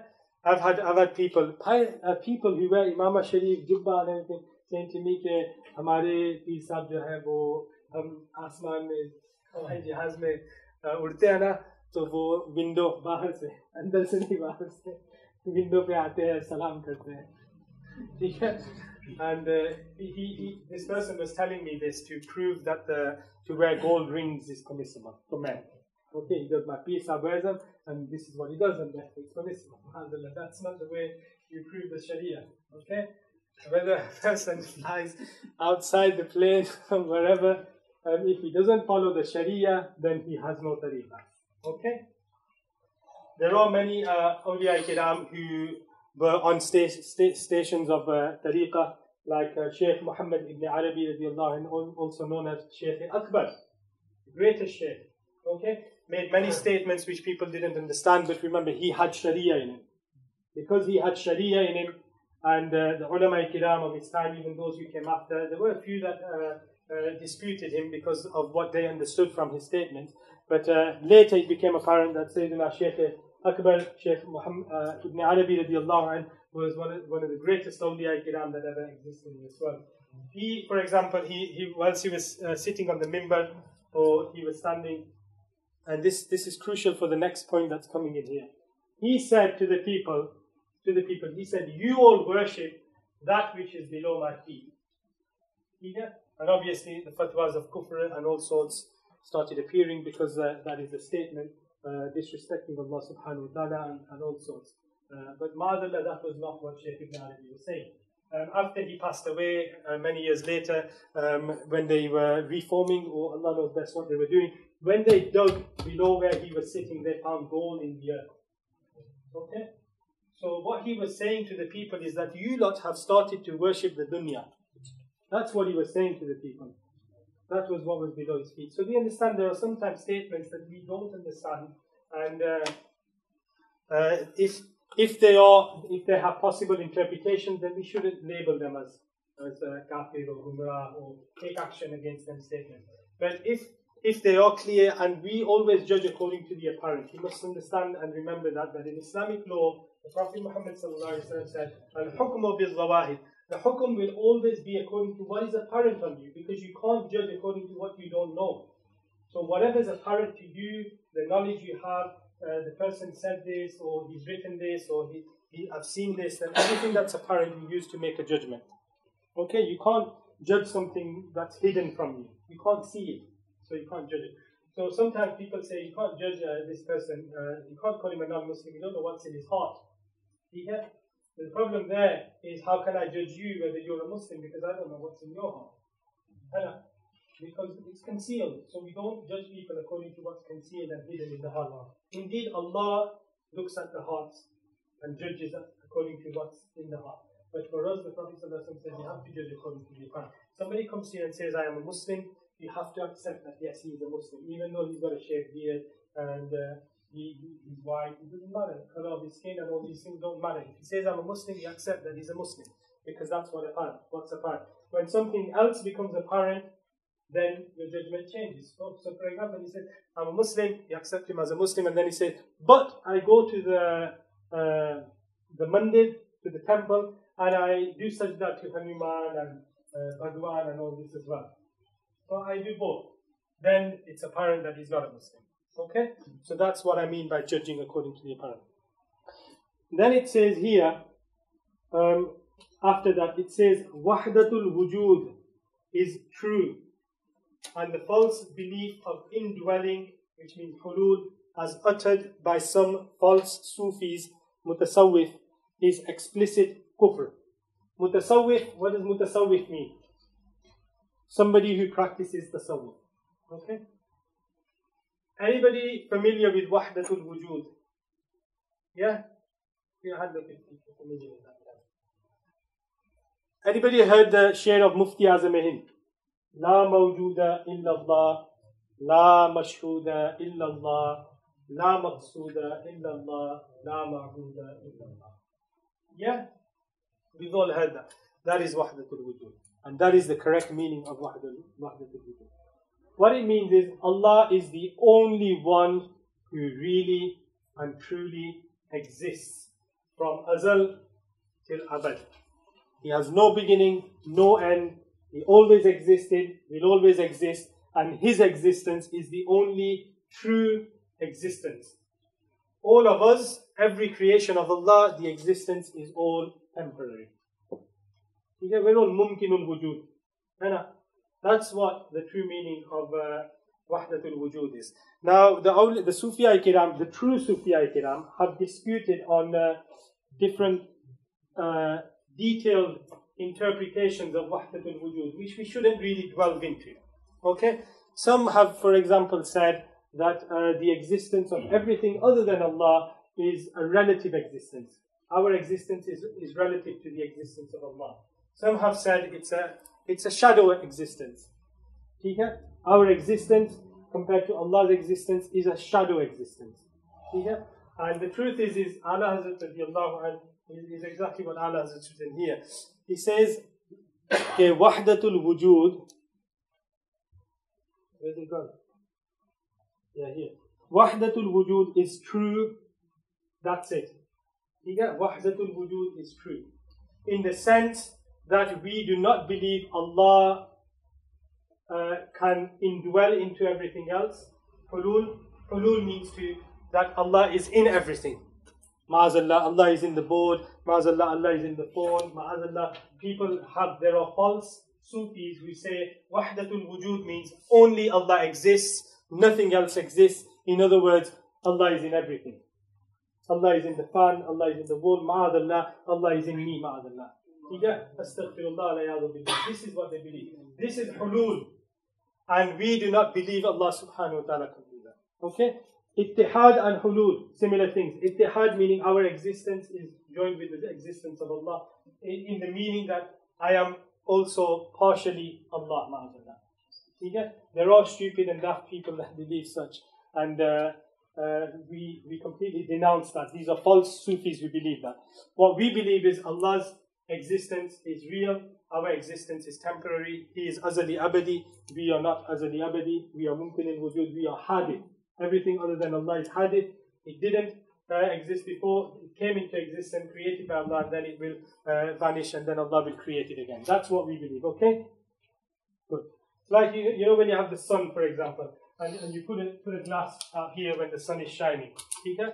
There's a shadow of the, of the, of the sun there, Hannah, of the glass, sorry. Okay? So, um, the shadow is only there because the sun is there. Hannah, you take away the sun, the shadow is gone. Okay? So that's what you call a shadow ex- ex- existence, for example. Or you move the glass and there's no shadow anymore. Okay? So but the sun will always stay there. Yeah, the sun will stay there, but the shadow will go and come.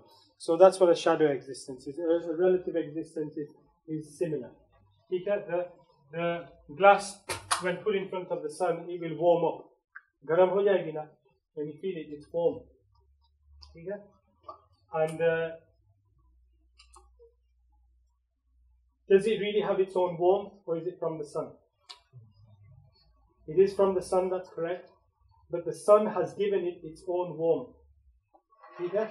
Because when we talked about the shadow, you move the glass, the shadow is not there anymore, so it didn't have a shadow on its own. But when you move the glass away from the sun, is it still slightly warm? Yeah, so it has a temporary warmth from the from the sun. So that's what, what we call a relative existence. So what we simply believe is the Sufi Kiram, the true Sufi Kiram, what they meant by Wahdatul Wujud is haqq, it is the truth, and we believe. Okay? But we do not believe in hulul and ittihad with Allah, the unification with, Allah and the creation. We don't believe that. We don't believe uh, the indwelling of Allah into the creation. Astaghfirullah, that is all impossible. Okay, final point. Nadwa is the capital of misguidance. Okay? Nadwa is uh, a university in India near Delhi. Oh, it is in Delhi. Huh? Um, Nadwa is a place which uh, claims to preach Islamic values and uh, Islamic studies and Arabic and all sorts of uh, religious sciences. But Nadwa is a place that united all the different sects of Islam and sat together to work for the deen. Okay? And Ala Hazrat, and in his time this happened, this was made in his time, and Ala Hazrat refused to go, and Ala Hazrat simply said one thing, okay, when they all united together and only uh, Bareli Sharif was, was left, or the, the Sunni Sahih Aqidah people were left uh, separate. So uh, when people said that, oh, everybody's united, only these people have left, the Ala Hazrat simply wrote in his fatwa, Al Kufru. This is a verse of the Quran, Hana. Al Kufru Millatu Wahida. Okay? Kufr is one group. So they all would unite. And as we said in the beginning, that Islam is one body. When one feels pain on one side, the other, the whole body feels the pain. So Islam is, the Ummah of Islam is one body. In the same way the Prophet ﷺ says, Allah subhanahu wa ta'ala says in the Quran, Al-Kufru millatu wahida. So if these sects, the Shias, Rafizis, uh, and the, uh, those who believe the Quran is incomplete, they call Sayyid Aisha, Ma'azallah, and and all these type of people, the Qadianis and all them, if they all unite in Nadwa, what's surprising about it? Because kufr was always one.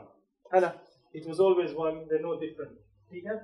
So that's Nadwa. It says here, Nadwa is the capital of misguidance and the collection of innovations associating and uniting with deviants is haram and respecting them causes the anger of Allah subhanahu wa ta'ala. Because there's a hadith of the Prophet Muhammad sallallahu alaihi wasallam. إذا مدح الفاسق غضب الرب. Okay?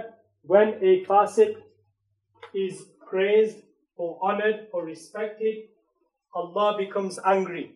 غضب الرب. Rab ghazabnak hota hai, Allah becomes angry. وَهْتَزَّ بِهِ الْعَرْشِ And the arsh shakes due to that. So that's why it says respecting them causes the anger of Allah subhanahu wa ta'ala. And that's why you can't have a fasting leave your namaz. Because uh, making him your imam is respecting him. It is, a, it is a, a sign of utmost respect towards someone that you become my imam in namaz. And if you make a fasiq or a misguided person your imam, then Allah becomes angry and the whole arsh shakes due to the anger of Allah. Okay, and this is a hadith of the Prophet Muhammad. Okay, so this was Nadwa, Sunnah Kulliyah. They united everybody. So Ala Hazrat says uh, that uh, to unite with them is all innovations. Innovations because the Sahaba Kiram, they refused to do salam to these people. It's like Sayyidina Abdullah ibn Umar. In his wasiyah, um, it says that uh, to all the people that come after him, that don't ever say salam to the Kharijis and to the uh, to the Kharijis and to the deviants and the Ahlul Bidah. Don't say salam to them. Uh, don't visit them when they are sick. Don't uh, pray namaz with them. Don't pray their janaza namaz. And don't sit with them. Don't talk with them. Don't eat with them.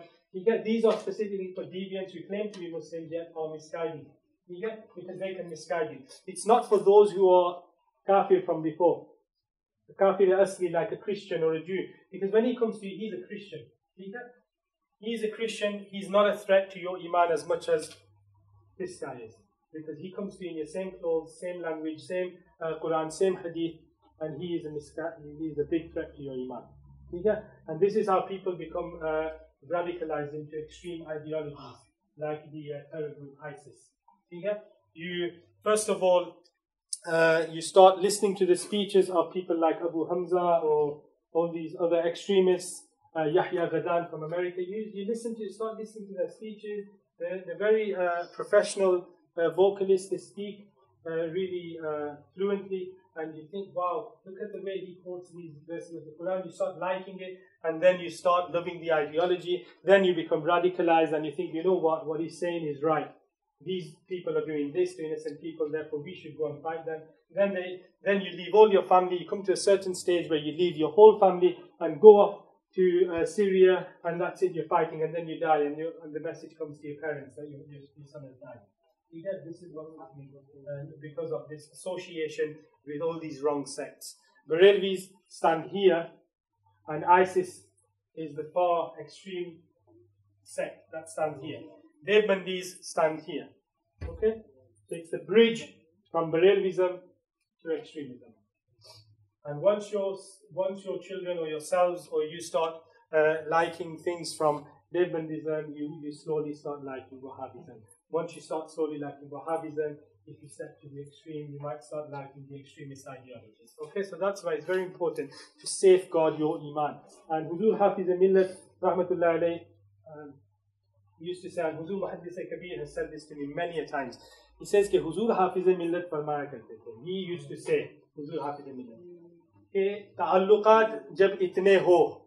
When you have this many uh, associates and friends and uh, people you sit with and talk with, to itne kar lo. Theek hai? Uske baad itne kar. Uske baad itne kar lo. Reduce them to this much, then reduce them to this much, then reduce them to this much then he says जब इतने हो गए तब तुम्हारा ईमान महफूज होगा then your iman will be mahfuz because when you associate with people it is in the nature of ourselves that we imitate things from people we pick things up okay? and we start taking ideas and, and, and that's what happens when you the prophet ﷺ said make sure you use good companionship you go to the into the shop you will smell of it when you walk out okay? you go to the meat shop you will smell of meat when you come out okay? so that's that's what it is and he says here, to make them, to stop refuting them is inviting the curse of Allah subhanahu wa ta'ala. You have to refute the deviant sect. When there is a thief who is robbing people's money or he is taking people's belongings and he is about to come to uh, a dawat that your brother has given at his house. Are you going to tell your brother or not that one? Just be careful because he, he he's a thief. Are you not going to tell him or warn him? Of course you will, Hannah. You have to warn him because if you don't, he may lose his belongings.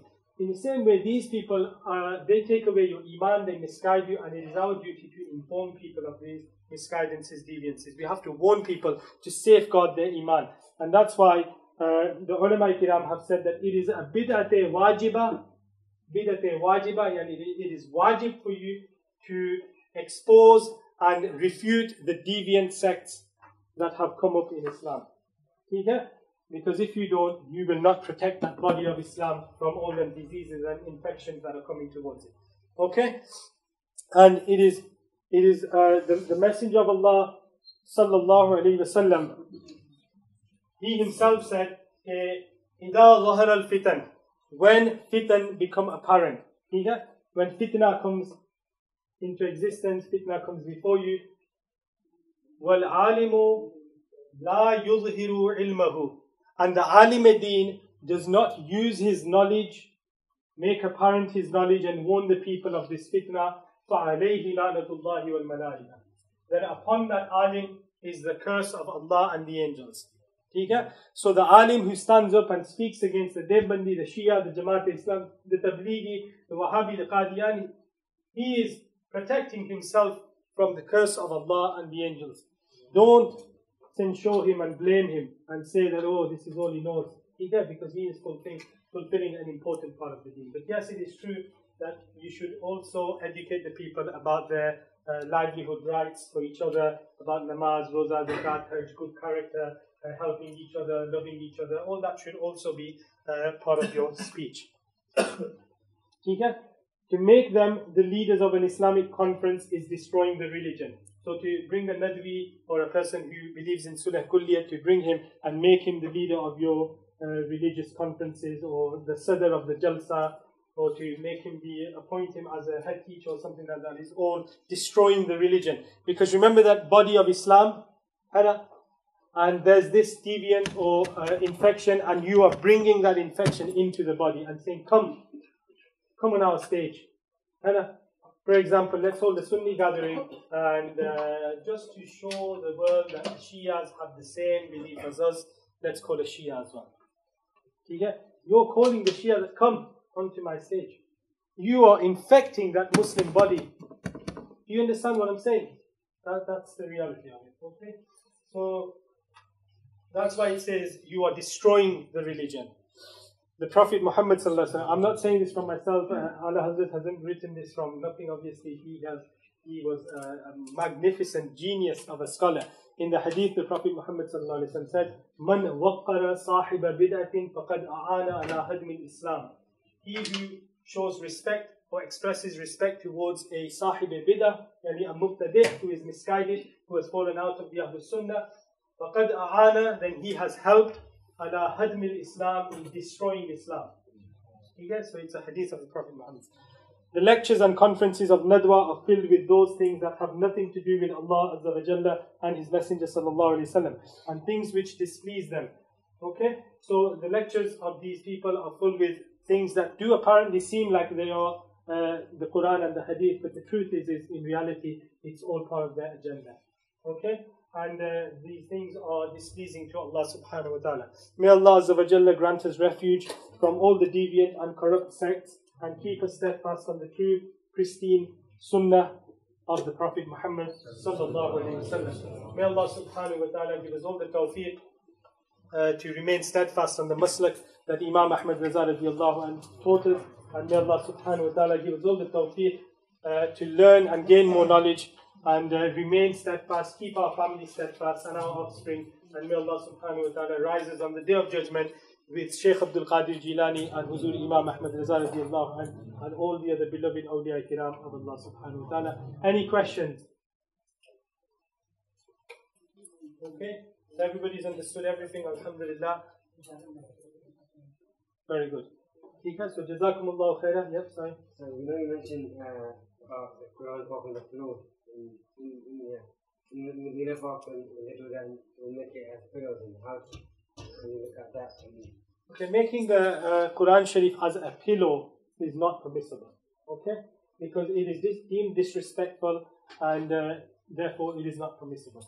However, Sayyidina uh, Allama ibn Nujaym Misri in uh, Al Ashbah al Nazair, he has written that if you have the Quran and uh, you fear that if you fall asleep with the Quran next to you, then somebody will steal your Quran, okay, which is not going to happen nowadays.